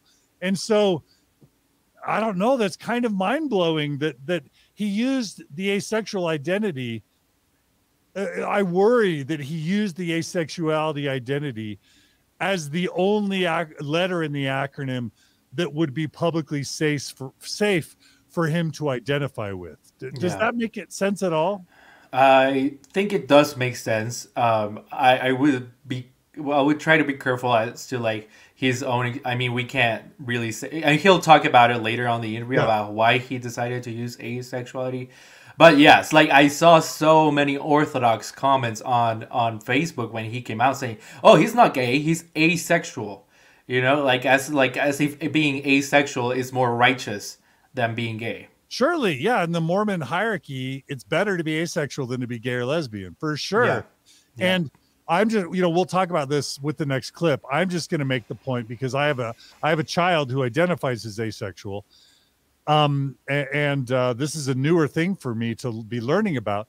But the definition of asexuality is that you do not experience sexual attraction, period, right? Or, mm-hmm. or you have a very muted or light um, experience of sexual attraction to other people. So, on the one hand, hasn't David already said that he experiences attraction to men? Mm, yeah. And so that's that's why I bring this up, not to deny his expression of identity, nor to um, deny that asexuality exists. Just to say that there seems to be some confusion here that he may be experiencing. But let's go ahead and play the clip that you wanted to share about asexuality and intersex. Is that all right? mm-hmm. Yeah. Okay. Then I was like, well, I, I, I, it wasn't until I looked up what asexuality was that I was like, oh my gosh. So that's so some people use the A for ally, but in this case, you the A can be asexual, um, and the I is usually intersex, correct? Intersex. There are people who are intersex, who are who are um, what is it? where they are given a gender at birth and maybe the doctors don't even know how to reassign their it is a small percentage but there's ambiguous genitalia there there are um XXY males, there are anyway uh, females. A, a lot of a lot of things, and the I does um, also help encapsulate and help those people be included as well. like there are interviews with these with folks who who go through the intersex process who are intersex who the doctor and the family assign them a gender and a sex but then their body goes through the other one the other gender the other sex. And then they're like what's going on? So a lot of times when there's ambiguous genitalia, um, I mean, I hope that term that, that's a very clinical term. I'm not trying to, um, I, I'm not trying to put a judgment on it, um, but yes, sometimes doctors and parents do their best, and often it is based on a lot of you know ambiguous and very fluid judgments. And doctors are humans and sometimes um, someone will be encouraged um, to develop along what they think is the best choice but when they hit puberty the the the internal workings of the body the genetics the you know all of the proteins that get activated and all those things indicate that this person maybe was assigned the wrong gender as it were. So i just want to you know wanted to clarify that. Um thank you you're you're so good at doing that like Can, can we stop right here, John? it's just a part Okay, okay, yeah. Uh, there's so much to unpack there. Yeah. So I, I I thought it was super interesting how much focus he put on intersex. Like usually this is something that people don't talk about, are not really informed with about. Uh, but intersex people, it, and I hope this doesn't come out as offensive, but the fact that their existence is the smoking gun to Mormon Mormon doctrine on on sex. family. To the proclamation. Yeah, to the yeah, yeah. because mhm. because because it says gender is eternal. Right, Right. right, Yeah, and I think that's kind of what David was trying to do here. Uh, hopefully, I'm not misrepresenting what, what his feelings and, and thoughts, but um, to me, he's trying to emphasize this because it's something that Mormon doctrine does not address and does not really have a good response to, and and he, I think he's trying to make the audience think about. Um, think about what this means uh, for uh, for their beliefs and and the Mormon belief system. Uh, that the fact that these people exist. Uh, so yeah, that's why I thought it was really interesting. Yeah, super interesting. And and what I want to do is circle back to this discussion of asexuality Yeah, he'll talk about it after uh, we in in the next clip. uh, in the same clip right after you paused it. I'm sorry, Okay. I made you pause it because I wanted to comment about intersex. So should I? There is a clip on asexuality. That, should I play Oh. that one? Maybe yeah. Mhm. Okay, I'll pl- I'll play that now. sexual because there's even a spectrum in that but i didn't want to go into that because i was like this is already a lot um, because there's gray sexual there's demisexual. And why the reason why i wanted to introduce asexuality is because i felt like it helped personalize my experience. I just figured there's i know there are other people out there who are similar to me who whether they're heterosexual or gay or bisexual they still don't experience that sexual desire as much and that affects their relationships. It affects what they're looking for and and how they want to connect with people and bond with them. And so that's why i wanted to to bring that up because you know I've, i always struggled with that. I've i was like i don't know why i must not be as attracted to them. This must be something wrong. So that's that's why i wanted to talk about it. And it was really nice to give other people who identify with being asexual and just simple a lot of DMs saying, "Oh my gosh, thank you for talking about that," because we always get overlooked, and it's hard to explain that to people and explain that to people you're trying to date and stuff because they just think you're a freak in a lot of ways because they just think, well, everybody's into sex, you know, and and and not everyone. I mean, it's at varying degrees, you know. Some people aren't. Some people really aren't at all, and they don't need that in their life to be happy and to feel like they can be in a happy relationship. Um, that's not entirely how I experience it. I feel like I would enjoy it, but it, I need to time to feel comfortable and be like, oh, there are a lot okay. of reasons Okay, there's so there's so much to unpack there, and to be honest, I am not necessarily the guy to unpack it. In fact, I'm certainly not the guy to unpack it, but I'm going to do say just a, a few things um, because this is something I'm really passionate about because I have a child who identifies as asexual. So, just for those who want to learn about asexuality, my amazing daughter, Clara Dehlin, wrote a book about asexuality called A Little Book of Ace Learning More About Asexuality. And I want to refer you to that um, book if you want to learn more. I went ahead and pasted a link to it in the show notes. And I also want to refer you to a video that my daughter Clara uh, recently released on YouTube called Let's Learn About Asexuality and Aromanticism. And I know that this is just kind of a, a, a small part of what David's talking about, but it's really important. For, first of all, I just want to say that my understanding of the term asexuality is that you do not experience sexual attraction for others. Um, it's not desire. In fact, I've made that mistake in the past of uh, of expressing it in terms of desire, which I heard David um, mentioning that, ex- explaining mm-hmm. his identity in terms of desire, but it's about attraction. Asexuality is about attraction, um, and it's important because um, because I think David has admitted uh, that he experiences sexual attraction um, to men, and so that's why I'm a little bit curious about whether he's still I'm trying to unpack everything.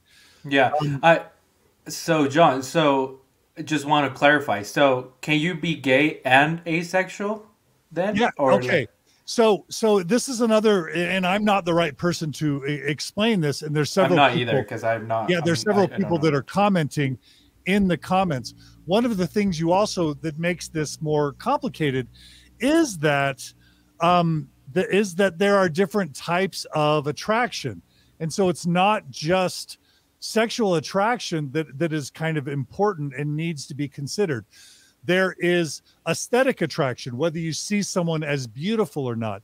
There's emotional attraction, whether you're attracted to them on an emotional level. Um, there is, uh, the, the, you know, there's friend, there's friend like attraction. There's intellectual attraction, whether you're mm. attracted to them on an intellectual basis. And so the fact that there are so many different dimensions of attraction makes this conversation more complicated. Um, so in theory, you could be, and, and there's romantic attraction. So you could be romantically attracted to somebody, but not sexually attracted. So I think what David is wondering is, do I experience romantic attraction, but not so much sexual attraction? And in that sense, you could be um, you know, uh, sort of homo romantic attracted, uh, but but still asexual. Does that make mm. sense, Gerardo? Yes, but you can yeah. So, but you can be a homosexual, have sexual feelings towards men, and then still say and, and no. still be asexual. Just and say like I just have a low libido as a homosexual, so that makes me asexual. Like no, be, having low libido does not make you asexual. That's what I'm trying to say. So that is another common misunderstanding. You can like the act of sex, choose to be sexually active with other people, but just not experience sexual attraction to the people that you're having sex with. So this is a really complex and intricate discussion. Yeah. And that's why I really recommend this book a little bit of ace or this video by my daughter clara not i'm not trying to like make her money or do any self promotion it's just so happens that my daughter is becoming an expert on this topic and so I, I believe passionately about it but what i and it's also not my purpose to deny david's expression of his identity or to say he's wrong or to challenge it but i don't want people to misunderstand if, if david is saying I experience sexual attraction to men, but I'm but I'm asexual.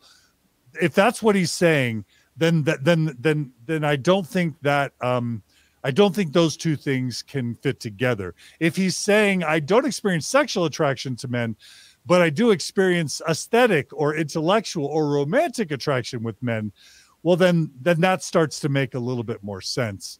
And and the truth is, David deserves to have the chance to figure all this out without a, a microscope. So my my my my intent isn't to question his expression of of his own sexuality, but it is to say let's not let's not have misunderstandings about what asexuality is and isn't. And what we should do is cover this on mormon stories in a more in-depth way. And i um i i intend to do that. The only other thing i'll say is that he mentioned a couple terms that i think are important to introduce. The term gray sexual is a term that um as i google it it means um, people who experience limited sexual attraction so it may be that David is starting to explore gray sexuality, which is maybe just a little bit of sexual attraction. Well, he just talks about men. how there's like there's a spectrum in asexuality. Yeah, uh, but he didn't really want to get into that on his. Yeah. Um, well, gr- gray sexuality is someone that may experience just a little bit of um, sexual attraction or more complex um, expressions of sexuality, and then demisexual as I understand it, is people who only feel sexually attracted to someone when they have an emotional bond with the person, which means that sometimes they have to go months or even years developing an emotional relationship before they ever experience that sexual attraction. So, mm-hmm. again, um, you know, kudos to David for introducing this topic of asexuality. Blessings to him as he explores it and figures this out. And yeah, um, if you want to understand, um, you know, asexuality and all its different shades. Again, I'm just going to highly recommend A Little Book of Ace, Learning More About Asexuality by Clara Dehlin and her video, Let's Learn More About Asexuality and Aromanticism. Anything else you want to say about all that, uh, Gerardo? No. Okay. Oh, uh, yeah. Thanks for bringing that up because that's really, really important. Um, uh, uh, let's see. All right. Uh, a couple comments from people. I'm sure a lot of our listeners are feeling strongly about our treatment of this. I hope I'm doing it more justice than I have in the past. Jen writes, many different levels of attraction. Very interesting, John. Bravo for Clara for bringing the awareness. My son identifies as asexual. He has no desire of romantic relationship. And even that might be confusing because, again, a- asexuality means no sexual attraction for um, for others. Uh, let's see. Stina Flink writes there are nuances to asexuality, demisexuality. Sometimes people use the word gray sexuality to talk about nuances. So, yes, some people will. Um, uh, yeah, there's a lot of ways we could talk about this. I don't think we we um, have the time to really get into it. So, let's go on to the question of is David dating now? Now, Gerardo, before we get into this, we got some backlash when we talked about Ben Schilaty and um, Charlie Bird and their romantic life. And many people were just like foul, out of bounds. That's rude to speculate on people's personal lives. Uh, that's insulting. That's demeaning. It's nobody's business. So Gerardo, I know you. I know you have sensitivities around this. So tell us why you even wanted to bring this on the table. Well, be, uh, I wanted to bring this one up because the uh, the host of the podcast asked him very straightforward about it. Uh, he asked point blank, uh, what was his what, what what was he what was he planning to do about his sexuality? If he was planning to date, marry, or what? Um, so that's why I put the clip there. Uh, but uh, just responding to a little bit of like what you were saying. To me, uh, the Ben Schilaty and and Char- well Charlie they're like a completely different kind of uh, public figure. Uh, I think uh, Charlie's public figure is all around how to be gay, how he's gay and Mormon, and he's making it work.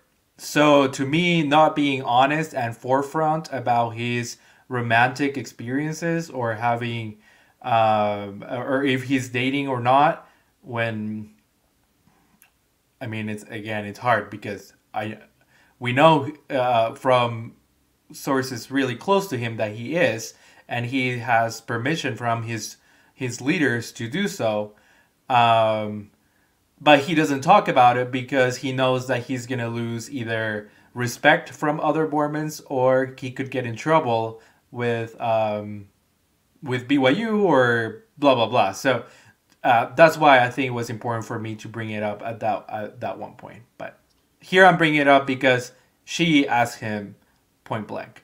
Yeah, um, and I'll just share a few of the comments that kind of also close out um, you know the the asexuality point you know if people care about david and i think we all care about david you know there's a concern that he would be using the asexuality label potentially um you know a, as a as a fear that um you know of what might happen if he does identify as gay whether it's losing fans or being punished by the church in some way or losing support or getting backlash. So, you know, Paulo makes the point that he's worried about David being repressed in his sexuality. And Newton also writes, um, I think Archuleta defines himself as asexual as a defense mechanism. Now, again, we shouldn't speculate. Newton, we shouldn't judge David. What I would like to say is, you know, those who care about David might be concerned that his expression of asexuality is a defense mechanism um, and a result of repression. Newton goes on to write, "It is a safe sexual place to put himself according considering his background," and then and then someone goes on to write that David is an McJet writes, "I think David is an apologist," and that's I think the biggest point is that once once you um, once you're a public figure like uh, Charlie Bird, like um, you know David Archuleta what the church realizes is it's going to be a huge PR catastrophe if these people, you know, say I'm a gay Mormon. You know, Tyler Glenn did this. He came out in Rolling Stone, I'm gay and Mormon. And that worked for him for a year or whatever until the November 15 policy. And then it all fell apart. And what what is what people are worried about is that David, as a member of privilege, as a celebrity, that he's going to get special privileges in terms of what he's allowed to do, including dating, and that that's going to give the world and Mormons, gay Mormons, the sense that it's safe to date.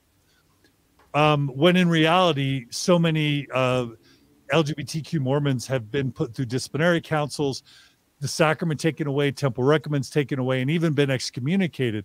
And kicked so again, out of BYU, kicked out of kicked BYU, out of exactly. And so, you know, it's really risky if David or Ben or Charlie are telling LGBTQ Mormons, "Hey, it's safe to date," um, just because they have special privileges, and then other people get harmed for it. That's why. Oh, well, and that, I think that's why Charlie doesn't do it. That's why one of the reasons Charlie may not be talking about the subject uh, as it pertains to him, his personal life. Uh, he'll talk about the nuances and like how different experiences happen to people and blah blah blah. Um, but anyway, so yeah. yeah. All right, so let's play the clip and then hear what what he has to say um, about dating. Question. I mean, I know my answer. What do you think God wants for you in terms of your relationships, your sexuality? Do you know? And when you say you know the answer, you're talking you know the answer for him or for God? I, I know the answer for, for everyone. No, no, no. I'm saying if you were to ask me, I know what I would say, but there's not a right or wrong answer. I, I'm I'm curious. Like, do you have that notion? Do you think about it a lot? Is God kind of separate from that for you? Because, you know, in my tradition, sex, there's a lot of there are there's a lot of writing um, and analysis over thousands of years about sex and about our relationship. Where people who really like sex you're supposed to have sex on a Friday night with your spouse. Very, very specific about sex. But do you think of what, quote, God wants for you? Does that come up for you? Yeah, it does. Just for me personally. Um, you know, I, and I think in my church, they, they're already, they're always very specific about the expectations of, of saving to have sex until you're married as well. And I guess I mean I just never had a problem with that because I didn't have a high sex drive anyway. And so for me it was like, well, it wasn't hard to for me to keep to that and and to be honest, still stick to that. You know, I I'm still saving myself um for when I'm with with um whoever I end up marrying. I don't I don't know who that will be, but and that's not to say that everyone in my religion ha- makes the same choice, even though they still have that same standard and rule kind of to follow by. And it's even if it's a rule you break, it doesn't mean that you, you know, I've people in my family who've who didn't wait till marriage, but they still ended up getting married in the temple, which is where we have like eternal marriage. is like a big thing, and it's you, you're following God's commandments. Which so you can still get married in the temple and follow God's commandments even after you've had sex before marriage. If you're try if you try to get back on track, you know, if you've made that mistake, say that when when you were trying to. It's just for me, it's just been something just because I don't have that desire as much. It's just been easy for me, and and I, so I just, I still, and it's still important for me because I'm like, okay, as I'm like exploring the rest of this, how can I still like hang on to, like my values and my beliefs in in my church, and that that's like at least one constant thing. As I'm trying to figure out my sexuality and ex- open up a little more to that into being bisexual or being more attracted to guys I'm like, at least I can hang on to that and keep that standard for myself just to keep me tied down to something, you know. So I'm like, you know, okay, I can explore a little bit more my feelings and stuff, but I'm I'm still just gonna stay constant in that I'm gonna keep save myself for marriage. So what's interesting is I thought that was still a, a really bad idea if I wanted to follow my church. But as I've talked to some of my church leaders, the, the law is a law of chastity and what one of my church leaders was saying who's actually quite he's he's up there in in the church leadership of with church of jesus christ latter day saints he he just said well the law of chastity is the same for a homosexual as it is for a heterosexual. So he said you know david it's i could tell like he's like this is kind of new as well but he's like for he's like he's like i i don't i haven't had i haven't experienced those feelings personally so i don't know what advice to give to you. But what I can tell you is like, yeah, we believe that in our church we have a family proclamation that like declares like the standard that God has given is marriage between a man and a woman. And he's like, and then we have the law of chastity. He's like, but I don't know what the fine lines and the details are when it doesn't fit that perfect picture. Putting perfect in quotes because that's, you know, even that is a that's a normative term and saying that this is what's you know. Wow, that is so, so much in that clip. You know, I know. What do you I want know. to say first, Gerardo? Man, I don't know. Like, um, he's definitely talk. Like, if you hear, uh, everyone can go hear the clip again, uh, and hear the whole interview. But he's talking about dating. He first says that he has decided in his mind that he is not gonna have sexual relationships outside of marriage, either with a man or a woman, because he says, I don't know what person it's gonna end up being and he talks about his attractions being more towards men, even though he identifies kind of like bisexual. And so he says he'll even if he ends up with a man, he won't have sex before marriage. But he starts talking about exploring and finding out who he's gonna get married, which is like that means dating, right? Uh, and he says like at one point I was thinking that that was maybe not a good idea, that that wouldn't fit with my religious convictions. But then I was able to talk to this leader who's pretty high up in the church, and he told me that because this is kind of new, and what he's talking about this idea of the law of chastity being the same for man uh, for hom- for homosexual as heterosexual this is a new idea and he's right this this is pretty recent as to, to this phrase has been used as of 2019 by elder oaks and then later two years uh, a year later in 2020 the handbook of instructions was was changed to reflect that.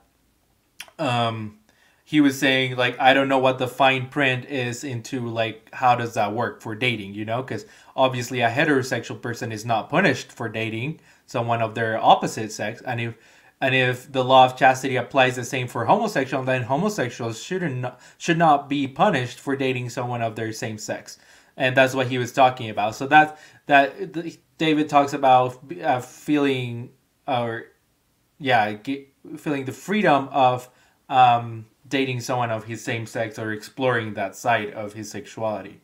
Um, which it's great. That's amazing. Good for david. Amazing that he has contacts with high up leadership. But what does that mean for everybody else? You know Um, but what does that mean for people who are at BYU? Um, what does that mean for people who are in Latin America or other countries who do not get this kind of information or privilege of getting uh, a high up, uh, a high up on the ladder leader to tell you or kind of give you permission for dating? Yeah, absolutely. Um, I want to share a comment from a listener. Catherine writes, I think it's not okay to say that David's using his asexuality label or ace label as a cover. I think we need to trust that David knows himself better than we do, and we shouldn't decide that for him. Catherine, I a thousand percent agree. Um, it is not our job. You know, one of the big problems in any LGBTQ identity, trans identity, non-binder identity, not non-binary gender identity, is that people aren't believed. And so it's really important that when somebody expresses their gender identity, that they're believed. So um, I hope you know, Catherine, that we agree. Our intent was not to question his uh, expression of sexual identity in this case.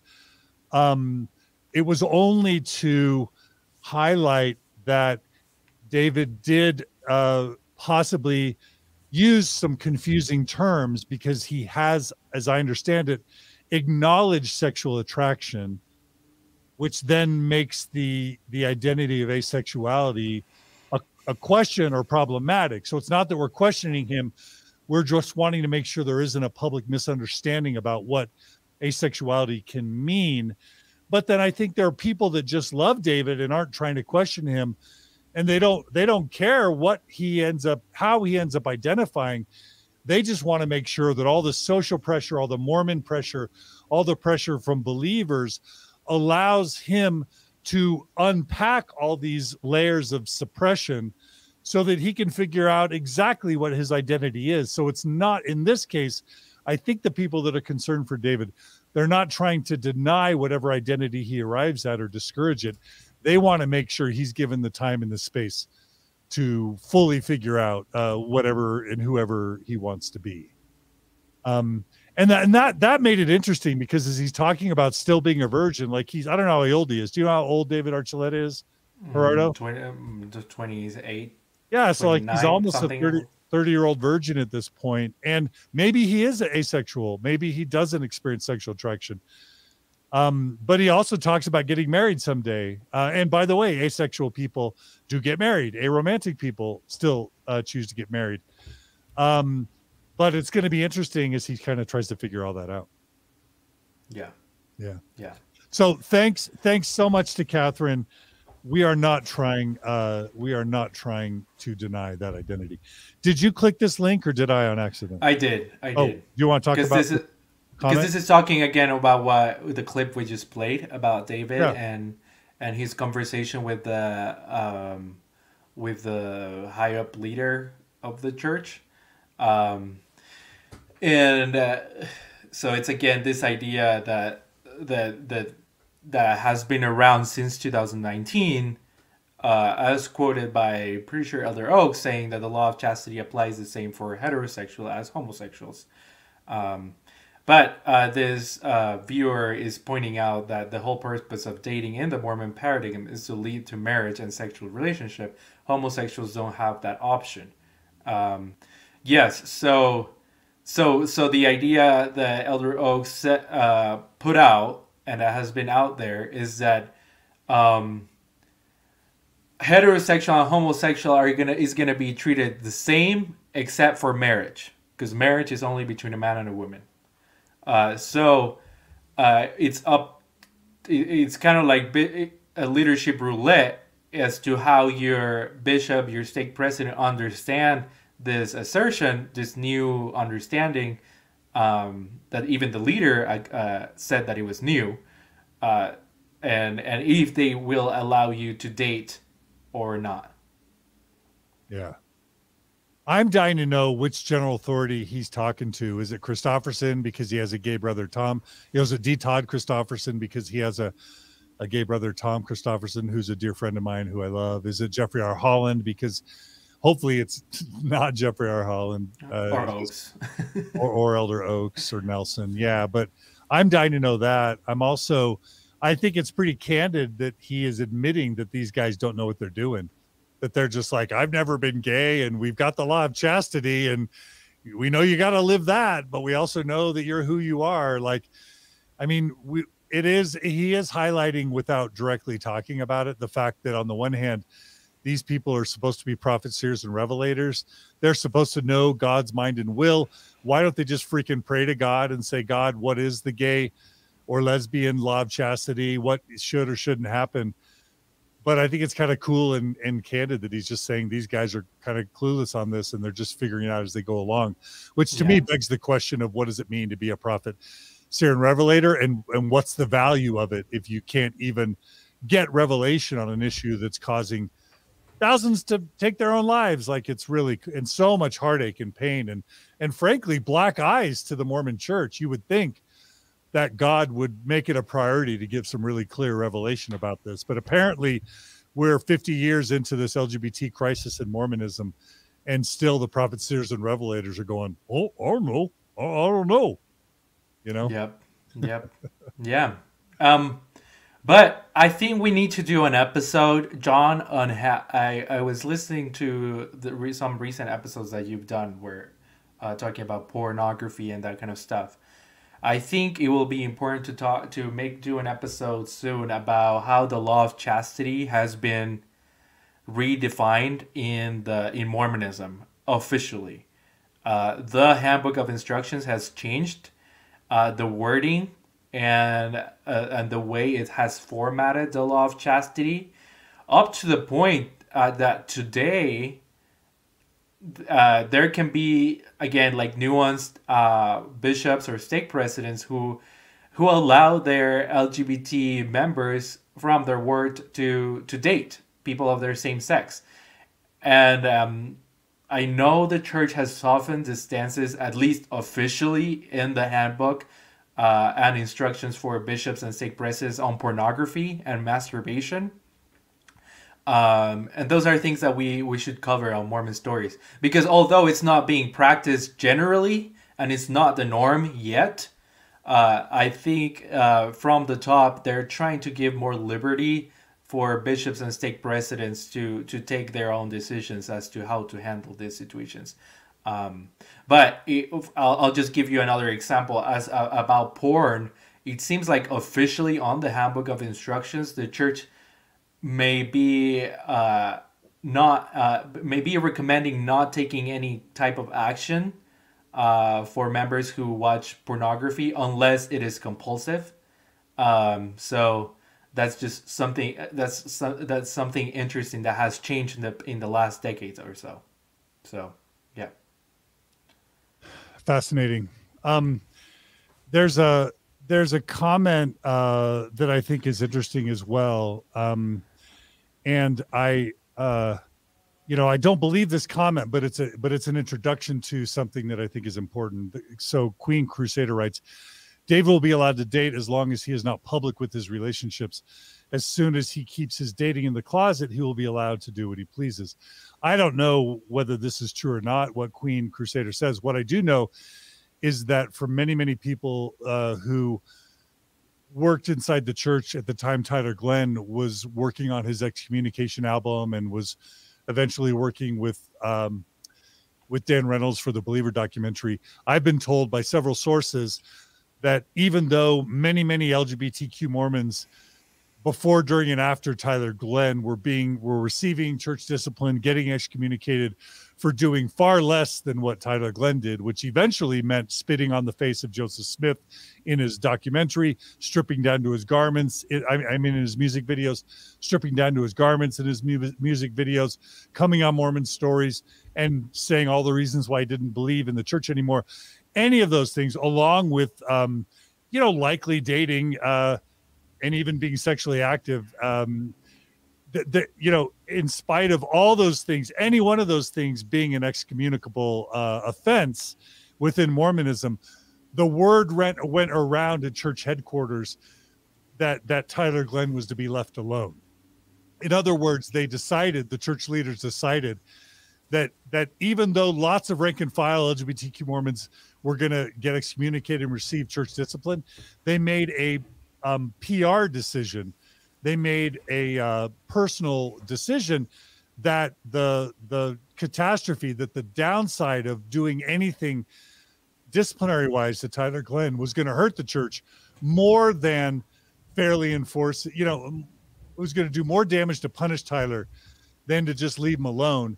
And so Tyler got a special treatment in that way and he was he never experienced any church discipline. And that was a conscious decision from the top of the church. And what that shows is that double standards do exist and that celebrities get special treatment. And Yeah. that's that's what david archuleta is receiving and will receive because the church will always be afraid of uh of the consequences of a public scandal that would reach global proportions and so that's why it's problematic for David to be a spokesperson for the LGBTQ Mormon experience, simply because he is and will continue. He is he is receiving and he will continue to receive um, uh, special privileges uh, and special treatment as a celebrity. Yeah.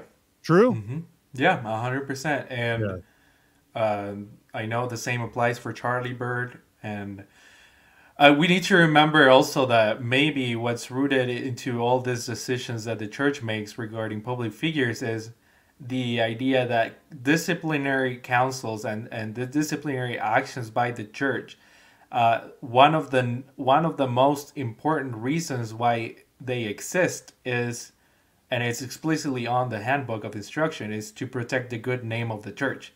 So um, if not do holding a disciplinary council will protect the good name of the church better than holding it they're gonna decide to just keep quiet and not and not touch these public figures But anyway And I think members would want to think that the brethren would um, would enforce its disciplinary rules equally. that's what Among- jesus would do probably right You would think Jesus would not worry about PR yeah and public polls and people's perception. So I think it's disturbing for some that w- you know the church discipline would be selective based on uh, political and media and PR considerations and someone's celebrity status.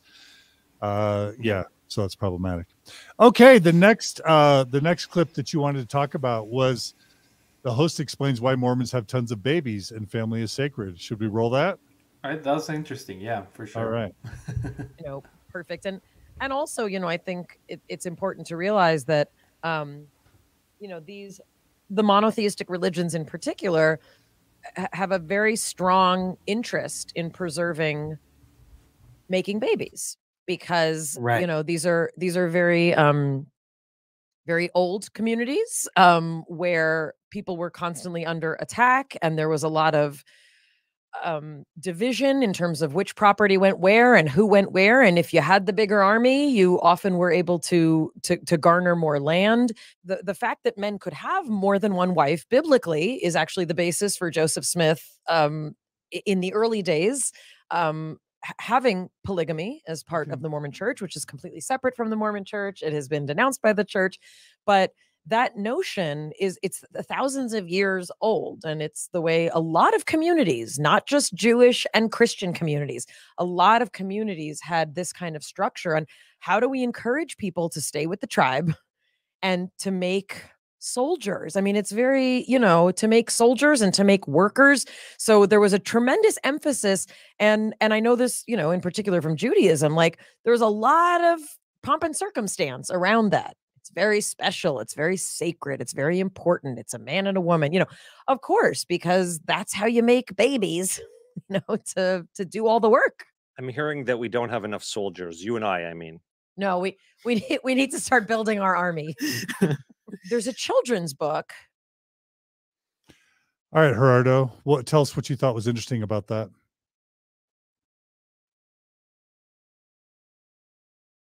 Sorry, there we go. Um, this is very interesting because uh, the host, without knowing about the history of Mormonism, she's able to point out why family in Mormonism is so sacred and why the church has such a hard time with homosexuality.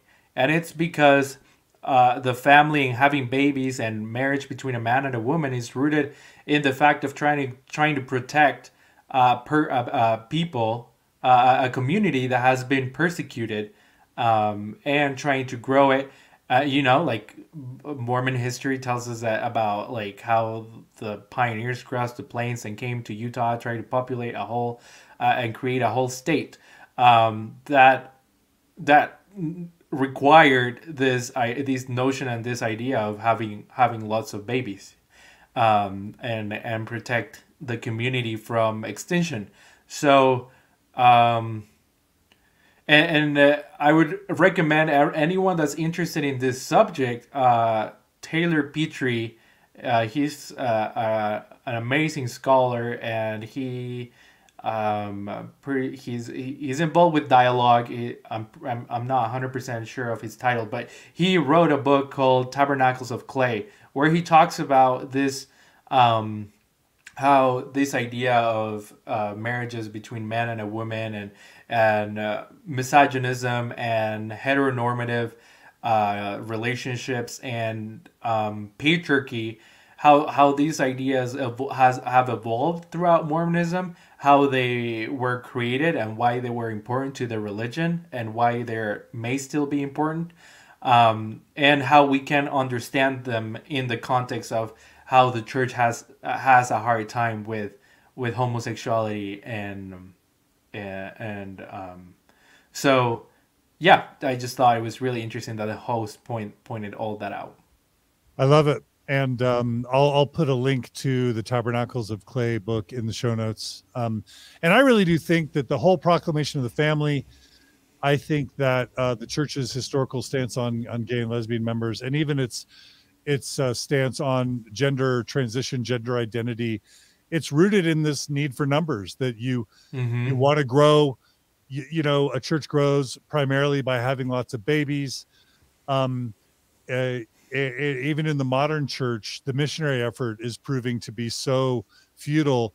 Uh, the activity rates of, of converts globally in the in the eh, you know right now in the Mormon Church is so pathetic. You're getting like 10% retention of uh, of converts throughout the world. The only reason the church isn't literally shrinking right now, the only reason the Mormon church isn't shrinking is because of its birth rate. And we already know that millennials and, and Gen Z and Gen Xers are having less babies uh, than than boomers. And so the church is terrified that a decrease in um, children uh, is going to mean less members, less missionaries, less workers, less volunteers, less money, less tithing. And so, supporting, I'm sure, subconsciously, if not consciously, the Mormon church says if we allow same sex attraction, same sex marriage, gender transitions, it's going to just affect uh, our numbers. And I think mm-hmm. the church is already hemorrhaging. So, it, and plus, the Book of Mormon silent on same-sex sexuality. The Doctrine and Covenants is completely silent. Jesus was completely silent. Yeah, let me just let me mention something that it, yeah. uh, Elder Bednar was just quoted in the church news for being in, I think it was somewhere in Utah and and a conference, and he said, the Book of Mormon is not a book of history, it's a book of the future. It's a book about the future. I, I just wonder like if it's a book about and, and he explains how it's a book for our times if it's for our times why doesn't he mention about one of the most important issues that have has affected or keeps affecting the church today which is um, the fact that lgbt people are are real and they exist and they are keep being born and raised as mormons so anyway yeah, absolutely yeah, and somebody makes the point. Uh, one of our listeners makes the point. Liz says it's not like gay people don't want children. It seems to me it would make more sense to let gay people get married and encourage them to have a lot of kids. I agree, Liz. If if those decisions were made rationally, um, but but we don't always, you know, we don't always make rational decisions as human beings. Yeah. Okay.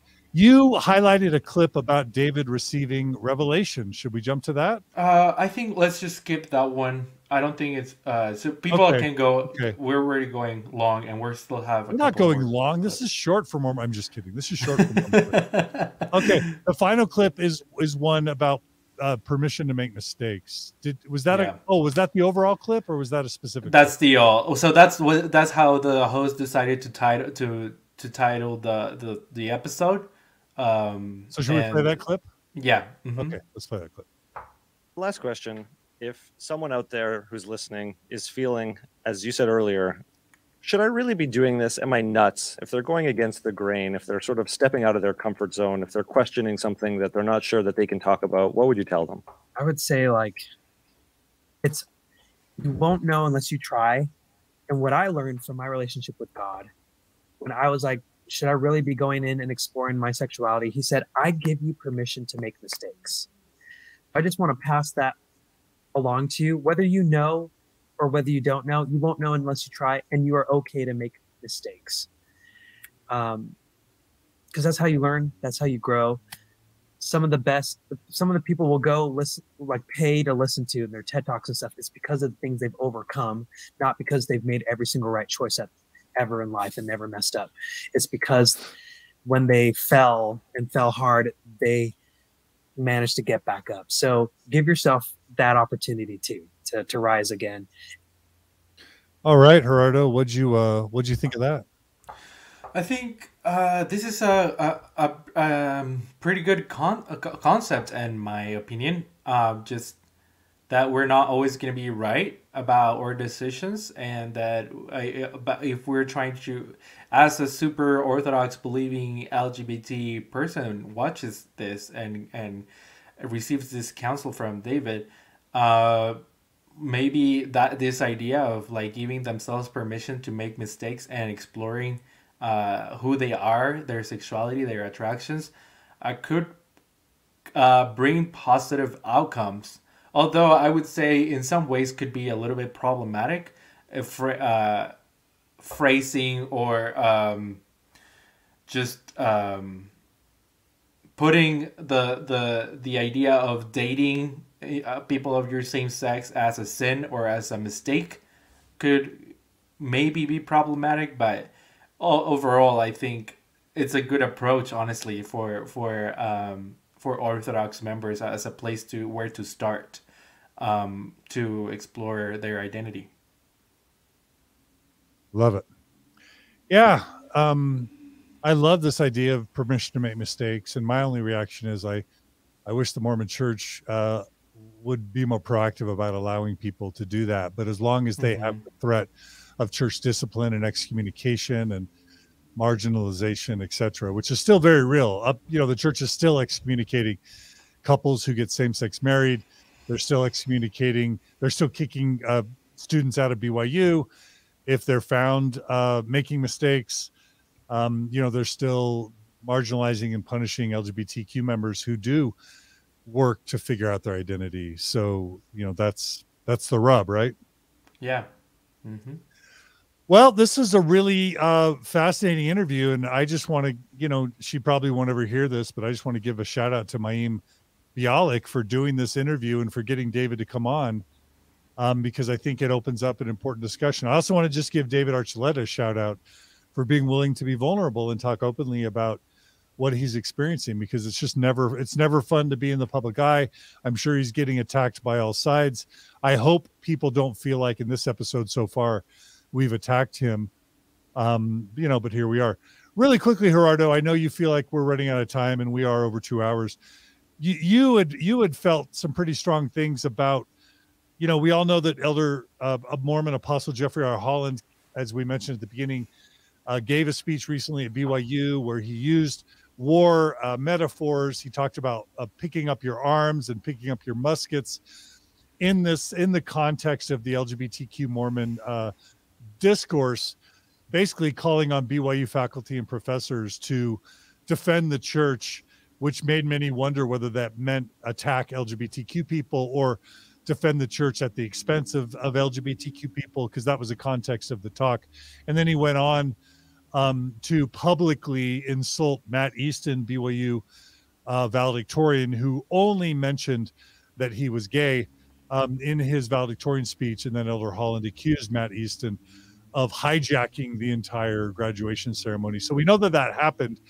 What what you called my attention to was a little Instagram post that David Archuleta made um, that that made you feel some feelings. So tell us what Yeah. you uh, is there anything you want to say about that and do you want to take the time to play and react to that video or maybe do that later No, I think let's just do it. Um, it's just a few minutes long, so uh, I think it's it, it's it's great in this context. Like I I feel like a couple people commented about David Archuleta being an apologist. I think in this um, and in this uh, Instagram post that he made, he is uh, giving an apologetic reaction, an apologetic uh, response to what El uh, Elder Holland said, and uh, trying to uh, uh, pretty much say like, "Oh, we gotta cut some slack. We gotta cut Elder Holland some slack." And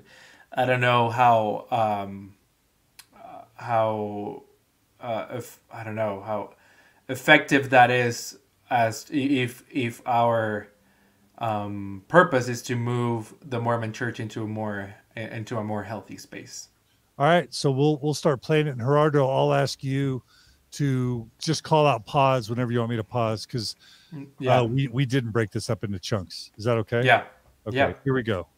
And respect someone. You know, Elder Holland. He's someone who's been very loved, respected, given amazing talks throughout the years that have helped a lot of people um, with the relationship with God, including myself. You know, and let's pause here. So Sorry. I just I have lots. Of- okay. Uh, uh, yeah, I, this is a comment that was made by so many people. How be- how how amazing Elder Holland's talks are. How how spiritually uplifted, uplifting he is. But if you go and look at what he has said about LGBT people in the past, it's not that great he said some really homophobic stuff in general conference before. Uh, he has a talk where he says like it's fine if you have same sex attraction, but don't plan. Uh, Jesus said, "Come as you are, but don't plan to stay as you are," uh, and stuff like that. Uh, kind of like alluding to conversion therapy or alluding to like being able to change your your your sexuality. Um, so yeah, Elder Holland can be all this amazing stuff, but he has his very problematic views about homosexuality. You've met Elder Holland, John, um, and I think you've said on the in the past that Elder Holland it can be like one, can give you this sense of like what he thinks about some stuff privately, but then publicly uh, say completely the opposite right? Or do absolutely, yeah. Elder Holland has shown me to be uh, a smart man, a man who can make you feel really good when you're with him, uh, but someone who you, you experience him as duplicitous because he'll he'll make you feel like he really gets and understands you in private, and then he'll say really terrible, awful, offensive, hurtful things in public um, that show that that make you wonder how much he understood you at all and that make you feel like he's just really good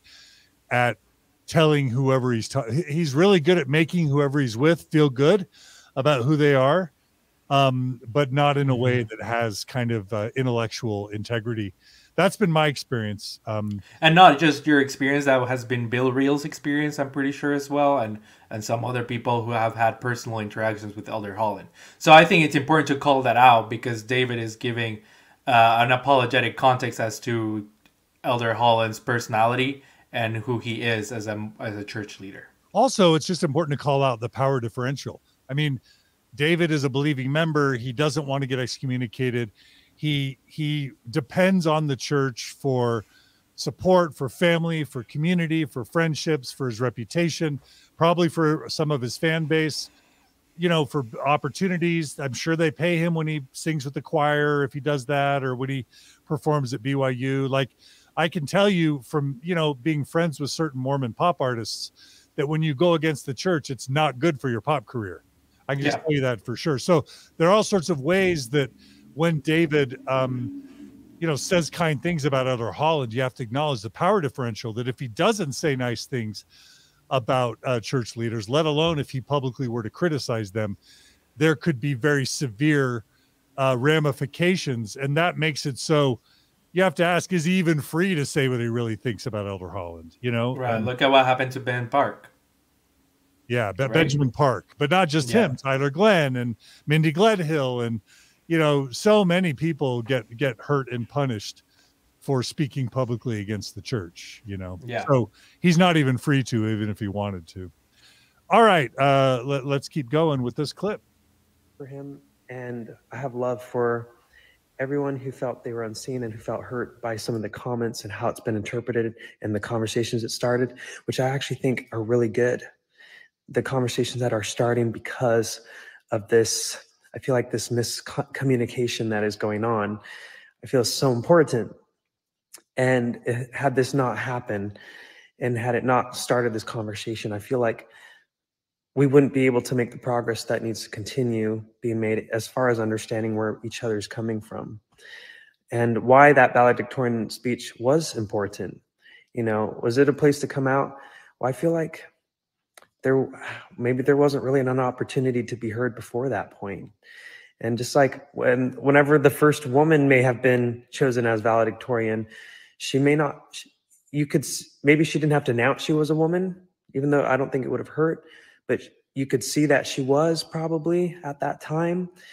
And with when your sexuality is different or your attractions, I, I like to say as well, who, who you're just naturally attracted to, um, it's not something you can see. It's something that we've kind of had to hide to continue, or we hid because we felt like that's what that was the right thing to do, or like not just hide, but just try and wish away. You know, that's my personal experience. Um, so for someone to say that openly at be at a church college and say, you know what,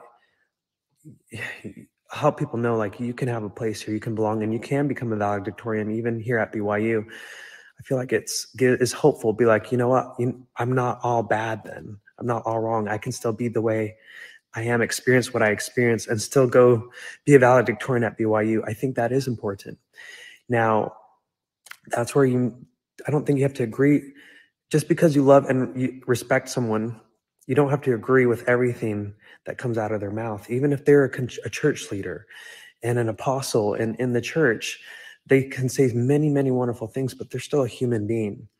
And so I feel like, like my mom or my sisters, who I, I go to a lot for advice or just to get their perspective and opinion, I love them and I respect them. I value their opinion. But a lot of times, I don't always agree with what they tell me. And a lot of times we can I can get upset by some of the things they tell me. That doesn't mean that I completely say never I'm never talking to you again. Get away from me. We have to have those hard conversations with each other to understand better where we're coming from.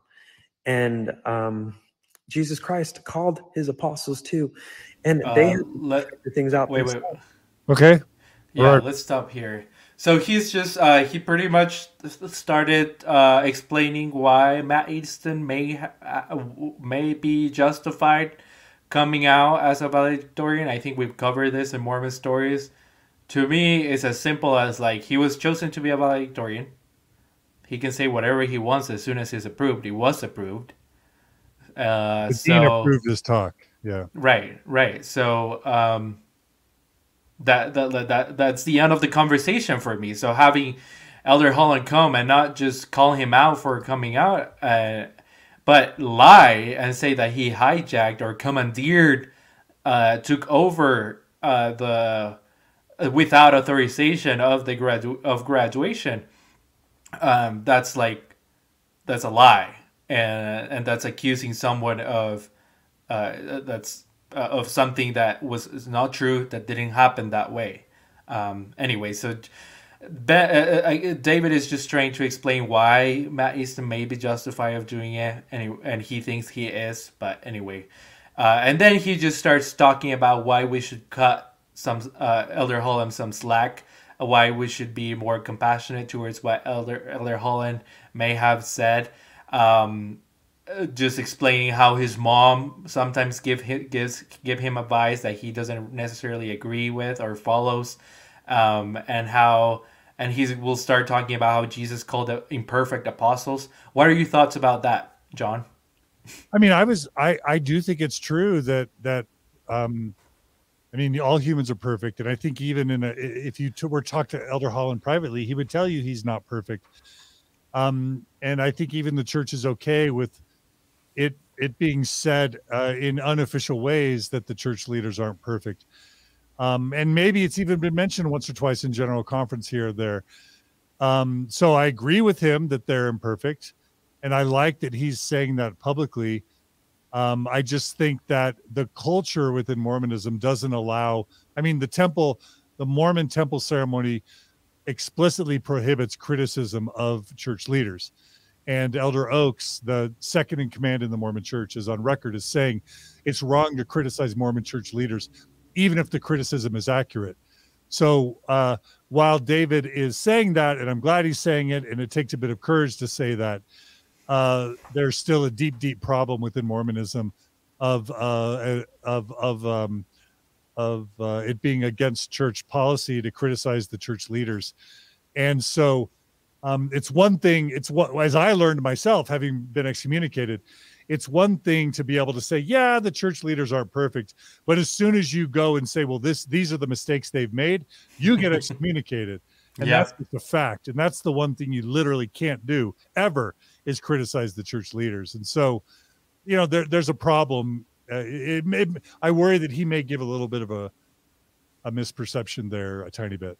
You know? Yeah, and the fact that Elder Holland will not and does not apologize, right? Like he, if, if it's a mistake, why doesn't he come out and, gives gives a, an apology as as he has done in the past for telling like stories that were proven false and stuff like that? And why are people like Be- Benjamin Park being persecuted for calling out very valid reasons why his talk, Elder Holland's talk was problematic? Um, and, and then is that really saying that church leaders are imperfect if like they're persecuting people who talk openly about why things they've said are problematic, you know? So, yeah. Yeah, it's a real problem. Anyway. All right, let's keep going. Yeah.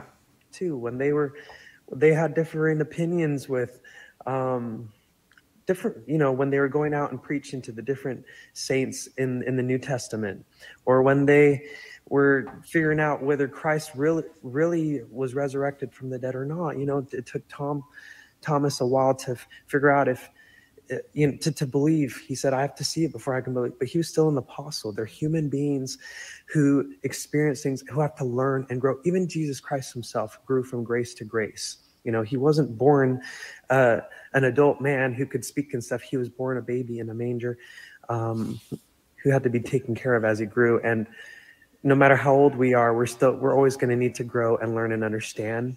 So I just want to give compassion to everybody, and I so that we can have the conversations that we need to have right now, which I think are wonderful conversations. And sometimes it's an uncomfortable process to get there, but I'm thankful that we are. Um, really quickly, I I mm-hmm. I want I want you to be leading this conversation, but I just want to say that it's one thing to acknowledge that Mormon prophets and apostles are imperfect. It's another thing to acknowledge the severity, the hypocrisy and the severity. The severity is that, you know, we have an epidemic of LGBTQ youth, LGBTQ youth and young adult death by suicide in Utah and throughout Mormonism. Not to mention the anxiety and the depression and the celibacy and the mixed orientation marriages that fail at rates of 70%. And and so it's not just that like oh he trips sometimes or sometimes they burp or sometimes they say a, a bad word there there's an issue of of a, a, a, real public health crisis within Utah and within Mormonism that the church has known about for decades and they've been ignoring. And it's causing divorce depression anxiety suicide. It's a serious issue. So it's it, I, I worry that he's understating the problem a little bit by sort of relying on the straw man of hey everybody's imperfect. You know sometimes you know peter peter had some questions about jesus and thomas doubted. So let's give everyone a let's give everyone let's give brother joseph a break yeah. i think that doesn't acknowledge the severity of the problem and of the crisis and then and then the only other thing i wanted to say is that there's this hypocrisy because yes give the brethren a break but give us a break give give sam young a break give bill reel a break give um, all the cu- LGBTQ couples that have been excommunicated a break. Give Dusty B a break. You know, give give um, you know the, the church is still punishing and excommunicating not just LGBTQ Mormons, but anyone who comes out and speaks out in a way publicly disagreeing with the church and criticizing the church leaders for all the carnage, they're getting punished and excommunicated. So there's a bit of a double standard there where the brethren get compassion and a break, but then the church turnarounds and is literally sending to hell anyone who who dares criticize the church leaders for very very credible reasons let alone all the lgbtq people that are literally being excommunicated for legally marrying the, their love you know what i mean Yeah. it's just a hypocrisy there Yep. Mhm. Yeah. okay sorry i just had to say that If No, this that's hadn't great. happened with this Elder Holland talk, I don't think we would be able to have this more on the table kind of discussion that we are now. So, okay, stop um, there. Stop there. again, Okay. so, so was Elder Holland's like we needed to have Elder Holland's talk to be able to have conversations about how problematic the church is. I don't know, like, because that's kind of what he said, right? He said like, if this talk hadn't happened, we wouldn't be having this conversation. So it, it was kind of like, oh, so good that it happened because now we're having this. I mean, it's true. Like if you watch the movie Milk, it's an amazing movie. It's about the the LGBTQ, so you know, Martin Luther King equivalent, Harvey Milk. May he rest in peace. He makes this he makes this point in the movie, and he died, I think, in the 70s or 80s. But he made this point that every time there's massive public opposition that's unjust against LGBTQ people, that it leads to backlash, and that any defeat results in eventual success. And we saw that with Prop 8, that the yeah, horrific policies of the Mormon church with Prop 8, where they're fighting the legalization of same sex marriage in a sovereign state in the United States, that that had backlash that led to the legalization of marriage all throughout the United States, or the horrendous November 2015 policy led to backlash that ended up overturning that policy. Like it's true that when the Mormon church makes horrific, you know, deadly decisions, that it leads to conversation and backlash. But but again, that that that begs the question: Why do we have prophets, seers, and revelators? right. if if these guys are talking to God and Jesus, you wouldn't think that the way positive change would be made would be that they would make deadly decisions that would cause all this carnage for generations, and then it'd be like, oh, we caused the suffering and death of thousands of people, not to mention divorces and carnage. Let's learn a thing or two. You think that what it would mean to be a prophet, seer, and revelator is you would go, oh, let's talk to God and Jesus. Let's figure out how to prevent. I mean, isn't that what prophecy and seership and revelation is for? Let's figure out how to prevent bad things from happening. Let's get the revelation proactively ahead of time, and then let's proactively make the policy to prevent the carnage. But that's Yeah. kind of not what's happening. No. Mm-hmm. And it begs No, the question: Why do we completely the opposite? what do prophets, seers, and revelators do? If Yeah. because what's really happening is the the Mormon prophets, seers, and revelators are causing carnage. Then it's activists and spokespeople that criticize the church.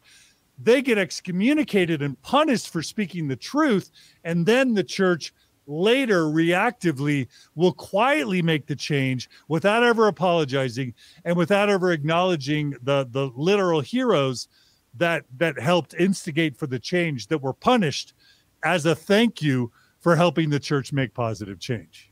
Yeah, and it, yeah, well, and it, it, begs the question: is how how much how how real their prophetic power is if all they're doing is making mistakes, like right, like 2015 policy, a mistake. Their conversion therapy ideas, a mistake. Their teachings about being homosexual, a mistake. Spencer W. Kimball ideas, a mistake.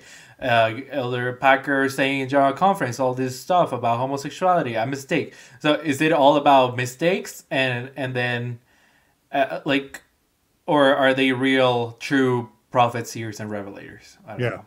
I mean that's the question. And we're not going to we're not going to like make fun of David. I mean, when you watch this talk by David, don't you get a sense for how sweet and almost innocent and childlike he is? I mean, that's why I Yeah. drew that comparison to Michael Jackson because he just comes across as this sweet, innocent, good-hearted guy. Don't you think? Yeah, yeah, for sure.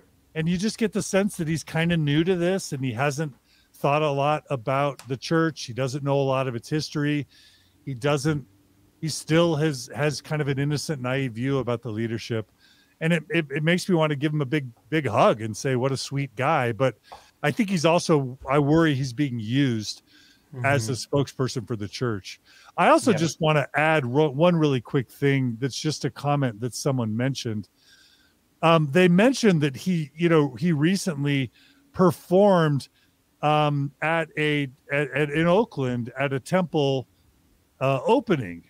Um, eh, Just like last night or yesterday, he performed at a, a temple opening in in Oakland.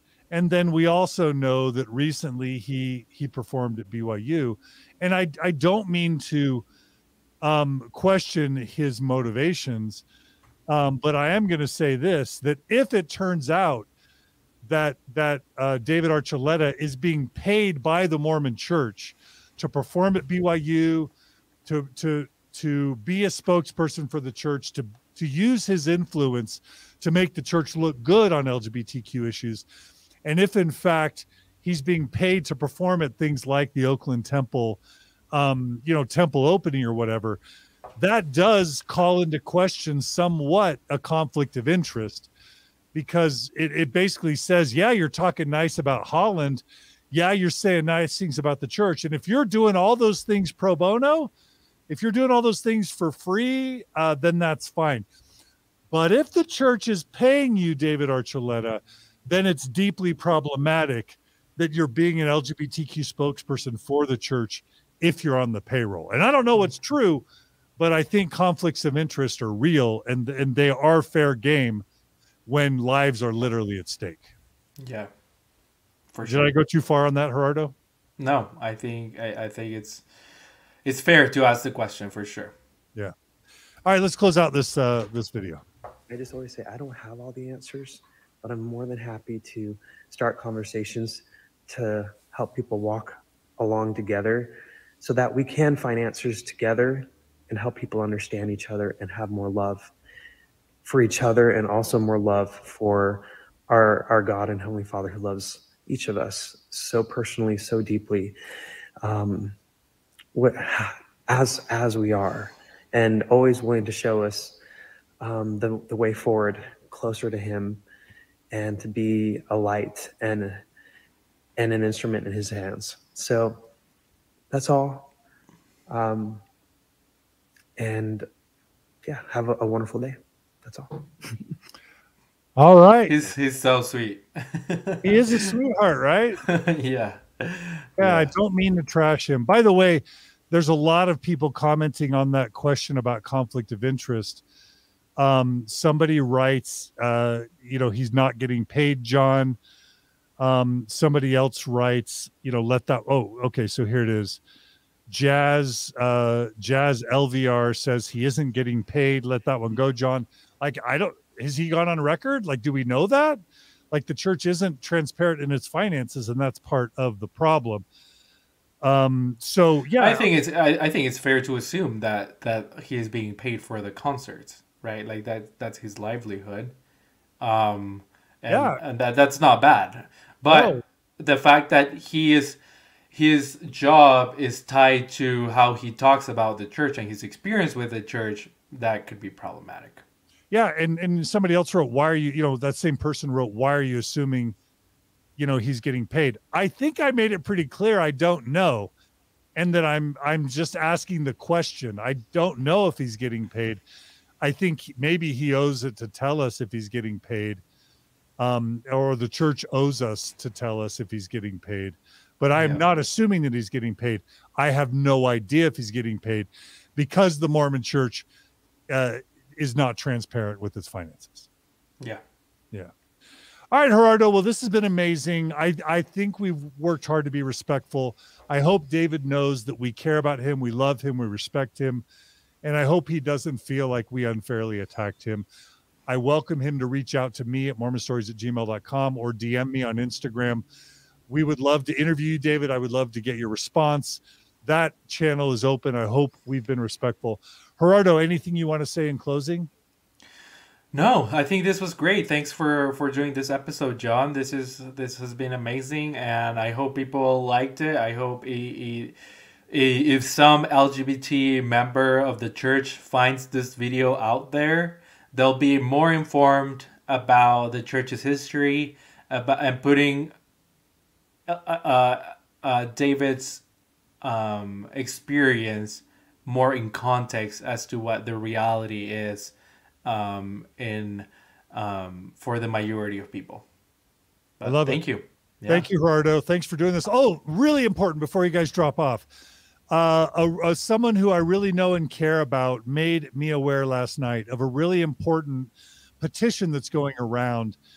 Basically, imagine being an LGBTQ student in Utah, hearing Jeffrey R. Holland's call to pick up your muskets and fight um, for basically against the LGBTQ agenda in defense of the church. Imagine being a student at a public university who's LGBTQ in Utah and knowing that one of the buildings at your public college is named after Jeffrey R. Holland, the same apostle that basically called people to arms.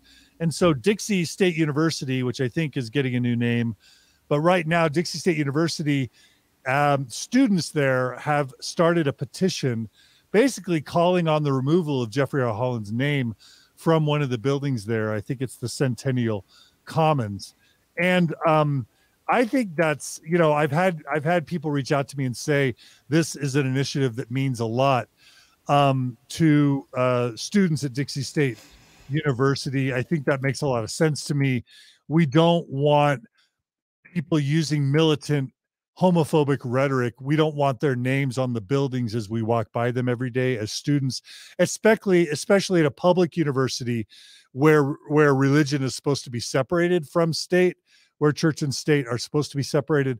So I am going to share um, the link to this petition um, in the both the show notes and also in the chat um, on YouTube and on Facebook. And I want to encourage everyone to sign that and everybody to please share that far and wide if you feel sympathy or solidarity with the Dixie State uh, University LGBTQ students who are disturbed by Elder Holland's hateful and homophobic rhetoric um, that uh, you know um, that that has hurt a lot of people and that Elder Holland has has ferociously said he will not apologize for. I think that um, I think that bears mentioning. I also just want to give a shout out to my dear friend Kyle Ashworth, who has an amazing resource, not only the podcast Latter Gay Stories, but also this amazing PDF, which chronicles the history of the Mormon church and LGBTQ people. I hope David Archuleta will uh, read this if he hasn't. And I hope that anyone who cares about LGBTQ Mormons will consult this amazing PDF. It's kind of like the CES letter for LGBTQ Mormon issues. And uh, also check out uh, Kyle's amazing uh, podcast, YouTube channel, and podcast. Um, that uh, you know, inter- it's it's a basically a gay ex-Mormon, uh, you know, interviewing other um, gay Mormons and ex-Mormons, and he does an amazing job. This PDF is amazing and I have to just give Kyle a shout out, or I wouldn't be able to live with myself. Yeah, yeah. Kyle's work is amazing and important. And um, Gerardo, you're freaking amazing, and you're a legend. So thank you, not just for for what you do for, um, you know, for Mormon stories and its cinematography, but also just what you do for the LGBTQ Mormon and post Mormon community. You've done so much and for mormons all over and post mormons all over you are a legend as well and i'm grateful for you. Thanks john. Thank you. All right take care gerardo, gerardo. and you're, you're joining us t- tuesday night. Do you want to talk about what's what's coming up tuesday night? Yeah so everyone buckle up like uh, we're having simon Southerton, uh, geneticist from australia who has responded to the um, DNA and Book of Mormon uh, gospel topic essay in the past and has written a book about it, has talked about, uh, has debunked uh, the apologetic arguments that the church uses about DNA issues and the Book of Mormon. Uh, well, we're bringing him on, and he's going to be talking about um, uh, the uh, Rod Mel- Meldrum and his uh, his organization and the um, Heartland theory that says that the Book of Mormon events took place in in in the United States, and um, his and he. Rod Meldrum puts a lot of uh, events and makes a lot of money out, out of his organization, and um, he has been called out before by even Mormon apologist uh, Ugo Perego, uh, who is a geneticist as well. Uh, and so we're gonna have Simon coming in and, and, and, talking about all this stuff and about why why the Heartland theory is uh, pretty much a, a scam. Not that we're biased or anything, right? yeah. All right. All right. Look forward to that, Gerardo. You're the best. Thank you so much for all you do. We'll see you again soon, Gerardo. Thanks yeah, so sounds good. All right. You take care. Bye. And listeners, thanks for joining us today on Mormon Stories podcast. I want to thank everyone who participated in the chat, everyone who donated through the super chat feature. You can donate to Mormon Stories and the Open Stories Foundation through clicking on the little dollar sign next to the chat uh, box. Those donations go directly to the Open Stories Foundation. They pay for Gerardo, me, Cara Burrell, uh, Brooklyn, all all the expenses, cinematography, web hosting, web design, marketing, all the things. Your donations make this possible. So thanks to everyone who donated through the super super chat. Thanks to everyone who donates directly to the Open Stories Foundation and Mormon Stories. You can click on Mormon Stories. You can go to mormonstories.org, click on the donate button at the top of the page, become a monthly donor, 10 bucks a month, 50 bucks a month, 100 bucks a month, whatever you can afford. These donations are tax deductible. We're transparent in our finances, and all the money, 100% of the money, goes to the mission of Mormon Stories, which is to educate Mormons and non Mormons about Mormonism, to support Mormons in their transition, uh, to support progressive and post Mormons uh, who have who have or need to leave the church, um, and to uh, create community of support for people who are struggling. Want to remind everyone about the Thrive event, uh, November fourteenth.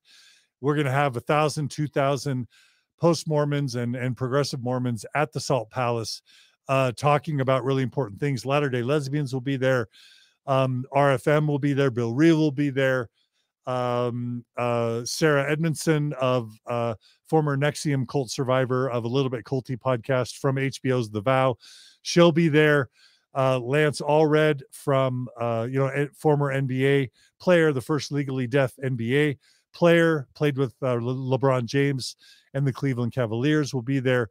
So many other cool speakers are going to be there. Uh, Luna Lindsey Corbden, author of uh, the book on undue influence and recovering agency uh, Natasha Helfer, myself, Margie, lots of us will be there. Please come and support us. Go to thrivebeyondreligion.com to register now. It's super cheap. And uh, we really, we, we've, you know, we've put down over $10,000 uh, to reserve the Salt Palace, and we really need people um, to attend. So please uh, register now for that event. We will put in the show notes um, the the registration link uh, because it's just going to be um, going to be a great event. Thrive Day, November fourteenth. Um, please, uh, please come. Anyway, thanks to everyone who supports us. Please stay in touch. Email us at mormonstories at gmail.com if you have questions or feedback. We love your feedback. We need it. We rely on it. And then please spread the word. Subscribe on YouTube. Subscribe on Facebook share these links everywhere. Follow us on more on TikTok, Mormon Stories Podcast TikTok. Follow us on Instagram. All the follows and comments and forwards and likes help us in the algorithms. So please support us. Keep supporting us. Spread the word. And word of mouth is probably the best thing you could do for Mormon Stories Podcast. So thanks so much, everybody. We love you guys. And uh, we'll see you guys all again very soon on another episode of Mormon Stories Podcast. Take care.